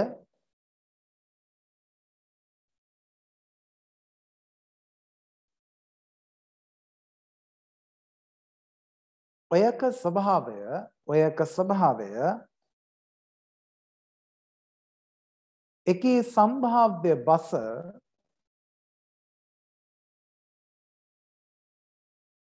net මානයේ සිතුවම් කරයි. net මානයේ සිතුවම් කරයි. net මානයේ සිතුවම් කරයි. වෙනම පොඩි වාක්‍යයක් ලියා ගමු අපි වෙනම. ප්‍රශ්නය අවසන් කරන්න අපි වෙනම ලියා ගන්නවා සම්භාව්‍ය ගැමි බස සම්භාව්‍ය ගැමි බස සමග sorry සම්භාව්‍ය බස සමග ගැමි බස සම්භාව්‍ය බස සමග ගැමි බස සම්භාව්‍ය බස සමග ගැමි බස මනාව සංකලනය කරමින් මනාව සංකලනය කරමින් සම්භාව්‍ය බස සමග ගැමි බස මනාව සංකලනය කරමින්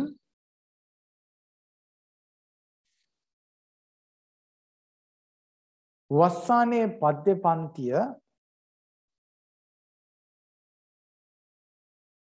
රසයෙන් පෝෂණය කිරීමට වස්සානයේ පද්‍ය පන්තිය රසයෙන් පෝෂණය කිරීමට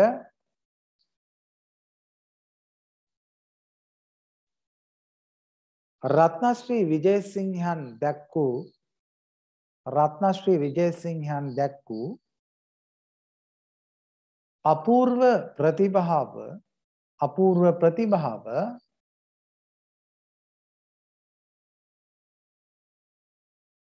මෙලෙස විවරණයට ලක් කළ හැකිය. මෙලෙස විවරණයට ලක් කළ හැකිය.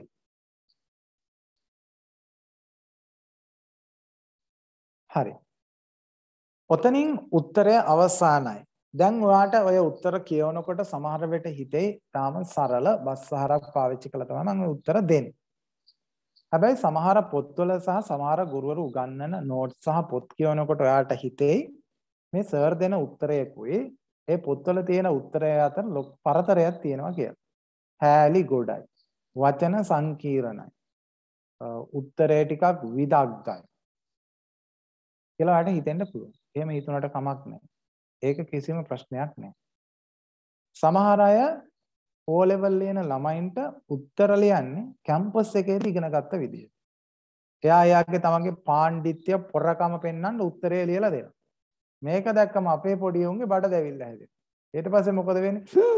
මෙහෙම කොහොමද ਵਿਚාරයක් ලියන්නේ කියලා ඒක එතනම දපල ගහලා එතනම මැරලා වැටෙනවා. ආ උළු සංසාරේ ਵਿਚාරයක් ලියා ගන්න හම්බෙන්නේ. හරිද? අමාරු වචන, සංකීර්ණ වචන, මහා ඡේද වැල් වටාරම් මූලාස්ත්‍ර හැම රෙද්දම දාලා සමහර අය දෙනවා. එතකොට මේ සාමාන්‍ය පෙළදී බලාපොරොත්තු වෙන්නේ විශ්වවිද්‍යාලේ කියලා ඩිග්‍රියක් කරද්දි උපාධියක් හදාරද්දි ඒක සම්බන්ධයෙන් ඉගෙනගෙන පරිචය ලබලා කියන උත්තරයක් විභාග දෙපාර්තමේන්තුව බලාපොරොත්තු වෙන්නේ නැහැ. ඔයාගෙන් බලාපොරොත්තු වෙන්නේ ඔය උත්තරේ අතර උදාහරණ තුනක් දාලා ඒ උදාහරණ තුන ඇතුළේ ගැමි භාෂාවට ගැමි වහරට අදාළ සහ සම්භාව්‍ය වහරට අදාළ වචන ටිකක් ඔයාලට උපුටලා මේක ඇතුළේ පෙන්වන්න පුළුවන්. ඒක නිසා මේ පද්‍ය පන්තිය රස වෙලා කියලා ඔයාලට කියා ගන්න පුළුවන් ඒක තමයි උත්තරේ. දැන් මම සාමාන්‍ය පෙළ විභාග O level විභාග ප්‍රශ්න පත්‍ර බලන්න යන ගුරුවරයෙක් විදියට අපි දන්නවා ළමයෙක්ගෙන් කොච්චර ප්‍රමාණයක්ද බලාපොරොත්තු වෙන්නේ කියලා. ඉතින් ඔයාට මම මේ දෙන උත්තරේ ඕනාවටත් වඩා වැඩි මම ප්‍රශ්න පත්‍ර සහ අපේ සෙට් එක එහෙම නැත්නම් අපි එක එක කණ්ඩායම් වලින් අපි හත් දෙනෙක් අතරට පේපර් එක යනවනේ මෙහෙම මෙහෙම ඒ යන ඕන කෙනෙක්ගෙන් උපරිම ලකුණු සංඛ්‍යාව ලබා ගන්න ඔයාට මේ ලියන උත්තරේ ඕනාවටත් වඩා වැඩි. හරි. ඒ නිසා ඔයාගේ මට්ටමට ඔයාගේ ස්වභාවයට ඔය ගානේ ලිව්වම ප්‍රමාණයි. ඔය ටික වඩා චුට්ටක් අඩු වුණා කියලත් ඒක ලොකු ප්‍රශ්නයක් වෙන්නේ නැහැ. එතකොට සාමාන්‍යයෙන් O level වලදී උදාහරණයක් විදියට පිළිගන්න පේලි දෙකක්. මුළු කවියම දාන්න ඕනේ කවියේ පේලි දෙකක් දැම්මහම ඒක නිදසුනක් විදියට විභාග දෙපාර්තමේන්තුවේ මාකින් ස්කීම් එකට අනුව අපි ඒක උදාහරණයක් කියලා පිළිගන්නවා. ඊළඟට උත්තරයක වචන 120යි 125යි තියෙන්නේ. ඒතර 125ක් කියලා කියන්නේ එක කොලයක ලිව්වත් 125 වැටෙනවා. පොඩි එක ඡේදයක් ඇතුලේ සාමාන්‍ය වචන 30 35ක් වැටෙනවානේ. ඡේද තුනක් වැටෙනකොට අනිවාර්යෙන් වචන 100 150 පායිනවා. ඒක 150ක් නෝ 150කට උත්තරයක් පොඩි කරගන්න එක ගේමක්. 150ට වඩා ළමයි ලියනවනේ. එතකොට මූලික වශයෙන් ඕනි ඒ නිර්මාණකරුවා ගැන දන්නවද? ඒ නිර්මාණකරුවා මේ පද්‍ය පන්තියට වස්තු විෂය කරගෙන තියෙන මොකද්ද? ඕනිනම් මාතින් ඔය එක පොඩි අඩුවක් වෙලා තියෙනවා උතන ඔය නිර්මාණකරුවාගේ වෙනත් නිර්මාණයක් මම ඔය ප්‍රවේශයට ඇතුළත් කරලා නැහැ. ඒක අත්‍යවශ්‍ය නැහැ. ඔයා දැනගන්න ඕනේ නිර්මාණකරුවාගේ මේ නිර්මාණය ඇතුලෙන් අහන ප්‍රශ්නෙට උත්තර ලියන්න. නමුත් කෙටි ප්‍රශ්නයක් අහුවොත් එයාගේ වෙනත් නිර්මාණ මොනවද කියලා උත්තර ලියන්න වෙනවා. ඒ නිසා ඒ ගැන යම්කිසි අවබෝධයක් තියෙන්න ඕනේ. ඒක ඉතින් පොතේ ඕන තරම් තියෙනවා. ඕනනම් ඉතින් ඔයාලට ප්‍රවේශයට ඒ වගේ කැලලකොත් එකතු කරගන්න පුළුවන් අත්‍යවශ්‍යයි නම්. නමුත් අත්‍යවශ්‍ය නැහැ. ප්‍රශ්නේ තේරුම් අරගෙන ඒ කියන්නේ පේලි හයක් එක්ක ඔය කියන ඒගොල්ලෝ අහන දේ ඔයාලට ඉස්මතු කරලා පෙන්වන්න පුළුවන් නම් ඒක තමයි උත්තරේ. ඒක මේ පොත්වල තියෙන තරම් මහා දැවැන්ත උත්තරයක්වත් නැත්නම් සමහර පාසල් ගුරුවරුත් ඉන්නවා. ඒ කඩේ තියෙන පොතක් අරගෙන ඒකේ මලයිලවි උත්තරේ කෙල්ලාරිනවා ළමයින්ට. හරි එහෙම කරලා ටියුෂන් ගුරුවරුත් ඉන්නවා. සමන්ට ස්වාධීනව ඒ වෙලාවට උත්තරයක් ගොඩනගලා එහෙම උත්තරයක් පහසු කරලා දෙන්න බැරි වුණා. අර එහෙම දෙනවා. අපේ උන් ඉතින් ඊළාට පුට්ටු කරගෙන අම්මෝ විචාර කියන්නේ පට්ට අමාරු જાතියක් කියලා හිතාගෙන ඉන්නවා. විචාර කොහොමත් ඔය ලෙවල් වලට නෑ. ඔය ලෙවල් වලට තියෙන්නේ ප්‍රශ්නයක් අහන උත්තරයක් ලියන්න තියෙනවා. විචාර කියන්නේ ඔක්නේ විචාර කියලා කියන්නේ නිර්මාණකරුවන්ගේ පද්‍ය සංග්‍රහයවල් 7-8ක් අධ්‍යයනය කරලා ඒකෙන් මේක වෙනස් මේකෙන් මේක වෙනස්. එහෙම අධ්‍යයනයකින් පස්සේ කරන එකක් තමයි ਵਿਚාරයක් කියලා මේ අහන්නේ ਵਿਚාර නෙමෙයි ඕ ලෙවල් වලට විචාර නෑ. ඕ ලෙවල් වලට අහන්නේ මේක ගැමි බස තියනවද සම්භාව්‍ය බස තියනවද? පෙන්වන්න කියලා තමයි අහන්නේ. අපි නිකන් ඒකට ਵਿਚාරය කියලා නිකන් නමක් දාගෙන තියෙනවා. ඒක ਵਿਚාර නෑ. මේ අහන්නේ ප්‍රශ්නයකට උත්තරයක් ලියන්න තියෙනවා. එතකොට මේක ඊටාම සරලයි. මේක ලොකුවට ඔළුවට ගත්තොත් තමයි මේක ලොකු ප්‍රශ්නයක් වෙන්නේ. සරල වුණත් මේ වැඩේ ඔයගොල්ලන්ට අමාරුයි කියලා දන්නවා. නමුත් අමාරු කරාම තවත් අමාරුයිනේ. මේ යන මොඩල් එක මේ යන ප්‍රමාණය ඕනාවටවත් වඩා වඩා වැඩි. හරි. ඒක මම අත්දැකීමෙන් දන්නවා. මම උගන්වලත් දන්නවා. පේපර් බලලත් දන්නවා. මම උගන්වන එම්ට ආපු ප්‍රතිඵල වලිනුත් මම ඒක දන්නවා. ඒ නිසා කිසිම ප්‍රශ්නයක් නැහැ. හරි. තව ඔය ගානට ඔයාලට ඔයක බලාගෙන ඊට පස්සේ දැන් බලන්න ඊළඟ උත්තර වලටත් ওই ටිකම තමයි පොඩ්ඩක් එහාට මෙහාට කරලා එන්නේ. එතකොට අපිට ඊළඟ උත්තර ටික හදාගන්න එක ඒ තරම් අමාරු වැඩක් නෙමෙයි. ඒක ලේසි. දැන් අර ප්‍රවේශයම අපිට ලියන්න වෙලාව යන්නේ නැහැ අපි ලියන්න ඕන ටික දන්නවා. අපි මූලික කාරණා ටික විතරයි වෙනස් කරගන්න ඕනේ. හරි. එතකොට ඔන්න පළවෙනි ප්‍රශ්නේ හරි. එතකොට මේ නිබන්ධනයේ තව තියෙන ප්‍රශ්න අජීවී සජීවී වස්තුවට අජීවී සජීවිත්‍ය ආරෝපණය කරවීම කවියා දක්වන කුසලතාවයේ නිදසුන් සහිතව විමසන්න. හරි. ඊට අමතරව තව තියෙනවා එතකොට මම දෙකයි මේකට ඇඩ් කරගෙන තියෙන්නේ ඊට අමතරව මේකේ තව මම දාලා තියෙනවා ගුත්තිලකාවයට අදාළ ප්‍රශ්නකුත් මම ගුත්තිලකාවේ ඔයගොල්ලොත් එක්ක මුලින් කතා කරා. එහෙම කතා කරන්න බැරි වෙච්ච කෙනෙක් හිටියොත් එයාට මේකේ උත්තරේ මොකක් හරි කරලා ලබා ගන්න පොඩි උත්සාහයක් දරන්න. ඊළඟට මේ නිබන්ධනයට අදාළව තව ප්‍රශ්න දෙකක් තියෙනවා. ඒ ප්‍රශ්න දෙක සහ තවත් ප්‍රශ්න කීපයක් තියෙනවා. ඒවා ඉස්සරහට කතා කරන්න පුළුවන්. එතකොට අපිට මේ පාඩම සම්පූර්ණයෙන් ආවරණය කරගන්න පුළුවන් වස්සානේ ප්‍රශ්නයක් ආවා. ඉතින් කෙටි ප්‍රශ්න ටිකක් තියෙනවා. අපි මේ ටිකට උත්තර ලියන්න පුළුවන්ද කියලා බලාගෙන යන්. මේක අහලා තියෙන වස්සානේ පාඩමෙන් නෙවෙයි 10 වසරේ කොටසකින් තමයි ඔය මම ඔය ටික අහලා තියෙන. නිකන් බලන්න උත්තර ලියන්න පුළුවන්ද කියලා උත්තර ටික ලියාගෙන යන් අපි. කොළඹ යුගයේ වැඩිහිටි කවි පරපුර නියෝජනය කළ කවීන් දෙන්නෙක් නම් කරන්න කියලා තියෙනවා. මම හිතනවා ඔයාලට පුළුවන් කියලා කොළඹ යුගයේ වැඩිහිටි කවි පරපුර නියෝජනය කරපු එකෙක්. දෙන්නේ. ඔය කෙනෙක් දන්නවා. කවුද? එස් මහින්ද හිමි. ආනන්ද රාජකරුණ. පියදාස සිරිසේන. හරි. ඔන්න ඔය කට්ටිය තමයි වැඩිහිටි කවි පරපුර. කවුද එස් මහින්ද හාමුදුරුවෝ? එතකොට ආනන්ද රාජකරුණ. ඒ අය තමයි වැඩිහිටි කවි පරපුර නියෝජනය කරන්නේ. කොළඹ යුගයේ මුල් පරපුරේ කවීන්ට වස්තු විෂය වූ තේමාවන් දෙකක් නම් කරන්නේ. ආගමික සංකල්ප සහ ආගමික සංකල්ප එකක් අනිත් එක තමයි දේශාභිමානය. දේශාභිමානය. ආගමික සංකල්ප සහ දේශානුරාගය. ඕවා තමයි ඒගොල්ලන්ගේ සංකල්ප උනේ මුල් කවිය. ඊළඟට කොළඹ යුගයේ දෙවන කවි පරපුර නියෝජනය කරන ලද කවීන් දෙන්නෙක් නම් කරන්නේ. ඔයා දන්නා කොළඹ යුගයේ වැඩිහිටි කවි, නැත්නම් කොළඹ යුගයේ ජ්‍යෙෂ්ඨ කවි, එළහවුලේ කවි, තරුණ කවි සහ අතිනූතන කවි කියලා කවිය බෙදෙනවනේ කොටස් වලට. කොළඹ යුගයේ දෙවන කවි පරපුර නියෝජනය කරමින් ඔයාගේ පොතේ ඔයා දන්න දෙන්නෙක් ඉන්නේ. එක්කෙනෙක් කුඩලිගම. හරි. එක්කෙනෙක් කුඩලිගම. අනිත් එක්කෙනා අපිට ලියන්න පුළුවන් සාගර පලන්සූරිය. නැත්නම් කේ.එස්. සාගර පලන්සූරිය. කුඩලිගම සාගර පලන්සූරිය. ඔන්න දෙන්නෙක් ඉන්නේ. ඊළඟට යුගයේ හෙළහවුලේ කවි පරපුර නියෝජනය කළ කවීන් දෙකක් නම් කරන්න. හෙළහවුලේ කවි පරපුර. එක්කෙනෙක් කුමාරතුංග මුනිදාස අනිත් එක්කෙනා රැපියල් තෙන්නකොන්. එක්කෙනෙක් කුමාරතුංග මුනිදාස අනිත් එක්කෙනා රැපියල් තෙන්නකොන්. කුමාරතුංග මුනිදාස රැපියල් තෙන්නකොන්. කොළඹ යුගයේ මුල් පරපුරේ ළමා පද්‍ය රචකයන් දෙන්නෙක් නම් කරන්න. කොළඹ යුගයේ මුල් පරපුරේ ළමා පද්‍ය රචකයන් දෙන්නෙක් නම් කරන්න. කොළඹ යුගයේ මුල් පරපුරේ ළමා පද්‍ය රචකයන් දෙන්න තමයි එස් මහින්ද හාමුදුරුවෝ සහ ආනන්ද රාජකරුණ. එස් මහින්ද හාමුදුරුවෝ සහ ආනන්ද රාජකරුණ. ඇස් මහින්ද හිමිපාණන්ගේ නිජබිම කුමක්ද? මෙතුමාගේ ගිහි නාමය කුමක්ද කියලා අහනවා. එතකොට නිජබිම තමයි සිකිම් දේශය, ටිබෙටේ සිකිම් දේශය. එතකොට එයාගේ නාමය තමයි තෂිනම්ගල්. තෂිනම්ගල්. තෂිනම්ගල්. තෂිනම්ගල්. ගිහි නාමය තමයි තෂිනම්ගල්. හරිද? ඊළඟට ඇස් මහින්ද නමින් වයස අවුරුදු 12දී පමණ මෙරටට පැමිණියේ කවුරු මෙරටට ආවේ කා එක්කද කියලා තමයි ඔය අහන්නේ. ඒක ලියා ගන්න. සිකීම් පුන්නජි හිමි. සිකීම් පුන්නජි හිමි. සිකීම් පුන්නජි හිමි. ඊට පස්සේ ඥාන ඥාන තිලෝක ඥාන තිලෝක හිමි. සිකීම් පුන්නජි හා ඥාන තිලෝක කියන හිමිවරුත් එක තමයි ආ. ඊළඟට සිකීම් මහින්ද නමින් පැවිදි දිවියට ඇතුළත් කරන ලද ඒ කියන්නේ ඇස් මහින්දාම්දුරෝ පැවිදියට පත් කරව පැවිදි අය කවුද කියලා අහනවා. සහ වාසය කළ විහාරස්ථානය ශ්‍රී චූල සුමන හිමි තමයි පැවිදිභාවයට පත් කරන්නේ. එතකොට වැඩ වාසය කරේ දොඩන්දුවේ ශෛල බිම්බාරාමය. ශෛල බිම්බාරාම. හරි. ශ්‍රී චූල සුමන හිමි දොඩන්දුවේ ශෛල බිම්බාරාමයේදී එස් මහින්ද හිමිපාණන් පාලි සංස්කෘත භාෂා ප්‍රගුණ කරන ලද විද්‍යස්ථාන සහ ඉංග්‍රීසි භාෂාව ප්‍රගුණ කරන ලද විද්‍යස්ථාන කවරේද කියලා අහනවා. පළවෙනි එක විද්‍යෝදය පිරිවන, දෙවෙනි එක මහා බෝධි විද්‍යාලය. විද්‍යෝදය පිරිවන සහ මහා බෝධි විද්‍යාලය. ඊළඟට අහනවා එස් මහින්ද හිමියන්ගේ දේශාභිමාන පද්‍ය පැවතුම් කවරද කියලා.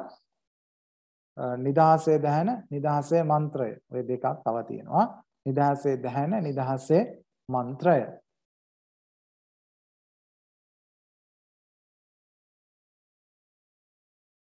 හරි ඊළඟට අහනවා ඇස්වයින් දෙමියන් සියම් නිකායේ භික්ෂුවක ලෙස යලි පැවිදි වියට ඇතුළත් කරන ලද හිමිපාණන් කවරෝද උපසම්පදා විත්‍ය කුමන වර්ෂයේද කියලා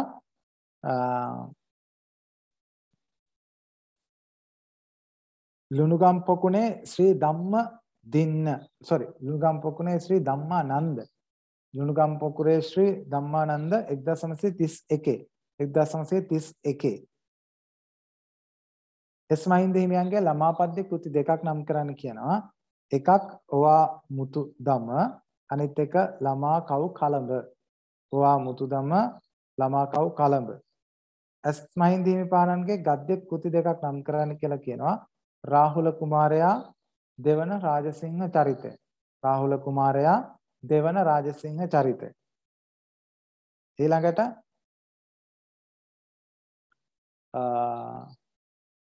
අස් මහින්දීන් පානන් හා සමකාලීන කවින් දෙදෙනෙකු නම් කරන්න කියලා කියනවා. ආනන්ද රාජකරුණා පියදාස සිරිසේන. ආනන්ද රාජකරුණා පියදාස සිරිසේන. ආනන්ද රාජකරුණා පියදාස සිරිසේන.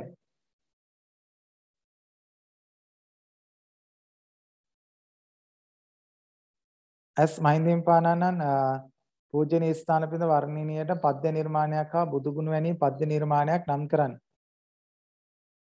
රත්නමාලී කාව්‍ය සහ කුසුමාංජලිය. රත්නමාලිකා කාව්‍ය සහ කුසුමාංජලිය. එක රත්නමාලී කාව්‍ය දෙක කුසුමාංජලිය. ඊළඟට ඇස් මහින්දින් පානන් සමකාලීන බුදුගුණ වර්ණනා කර ඇති කෘතීන් දෙකක් නම් කරන්න. හරි. ඊළඟට අහනවා ඇස්මහින් දෙමින්දාන ජාතික තොටිල්ල. පද්‍යාවලියේ ජාතික තොටිල් පද්‍යාවලියේ මොකක් හරි එතන අඩුවක් ඇවිල්ලා තියෙනවා. රූපකාර දෙකක් නම් කරන්න කියලා කියන්නේ. හරි. නිදහස මහ මුහුදකේ නිදහස මහ මුහුදකේ රූපකාර්ථ දෙකක් නම් කරන්න කියලා තියෙන්නේ. රූපකාර්ථ දෙකක් නිදහස මහ මුහුදකේ එහි උල්පත පුතුය එහි උල්පත පුතුය.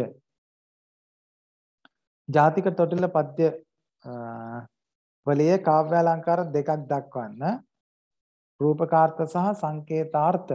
රූපකාර්ථ සහ සංකේතාර්ථ. රූපකාර්ථ සහ සංකේතාර්ථ. හරි. ඉතින් මං ගාව තියෙන මෙන්න මෙහෙම නිබන්ධනයක් මං පුළුවන් වුණොත් මේක දාන්න. සාමාන්‍ය පෙළ සියලු පාඩම් වලට අදාළව හදපු කෙටි ප්‍රශ්න 200ක නිබන්ධනයක් තියෙනවා. ඉතින් මම මේක ඔයාලට ගෲප් එකට දාන්නම්. ඔයාලට පුළුවන් මේ ප්‍රශ්න 10 වසර සහ 11 වසර කියන දෙකටම අදාළව මේක අදාලා තියෙන. ඔය වගේ කෙටි ප්‍රශ්න 200ක් තියෙනවා හැම පාඩමකටම අදාළව. නිකන් එන්න ගමන් ඒ ටික ලියලා සූදානම් වෙලා යන්න මට මේ හැම එකම ඉතින් ඔක්කොම මේක ඇතුලේ උගන්වන්න බැරි වෙයි. ඉතින් ඔයාලට මම PDF එක දාන්නම්. ඔයාලට පුළුවන් මේ ප්‍රශ්න 200ටම උත්තර ලියලා පුහුණුවක් ලබලා කෙටි ප්‍රශ්න ටික ගොඩ දාගන්න අවශ්‍ය කරන දැනුම හදාගන්න. හරි. එහෙනම් ඉතින් අද දවසේ කාලය මෙතකින් හමාර වෙනවා. එහෙනම් ඔබට සුබ රැයක් ප්‍රාර්ථනා කරලා ලබන සතියේ අපි වස්සානයේ සියලු ප්‍රශ්න අහවර කරගන්න යලත් සුපුරුදු පරිදි හමු වෙමු. ඒ වගේම ඔබ දන්න කියන තමන්ගේ යාළුවන්ට සිංහල භාෂාව සහ අයිලර්නින් කොලෙජ් එකේ යන ගණිතය විද්‍යාව ඉංග්‍රීසිය ඇතුළු සියලු විෂයන් වලට සම්බන්ධ වීම සඳහා ආරාධනා කරන්න. එයාටත් මේ අවස්ථාව උදා කරලා දෙන්න. ඔබ තව කෙනෙක්ට සලසන යහපතක් ඔබට දිනක අනිවාර්යයෙන්ම සුව පහසුවක් ලෙස සොඳුරු විදිහට ඔබට අත්දකින්න ලැබේ.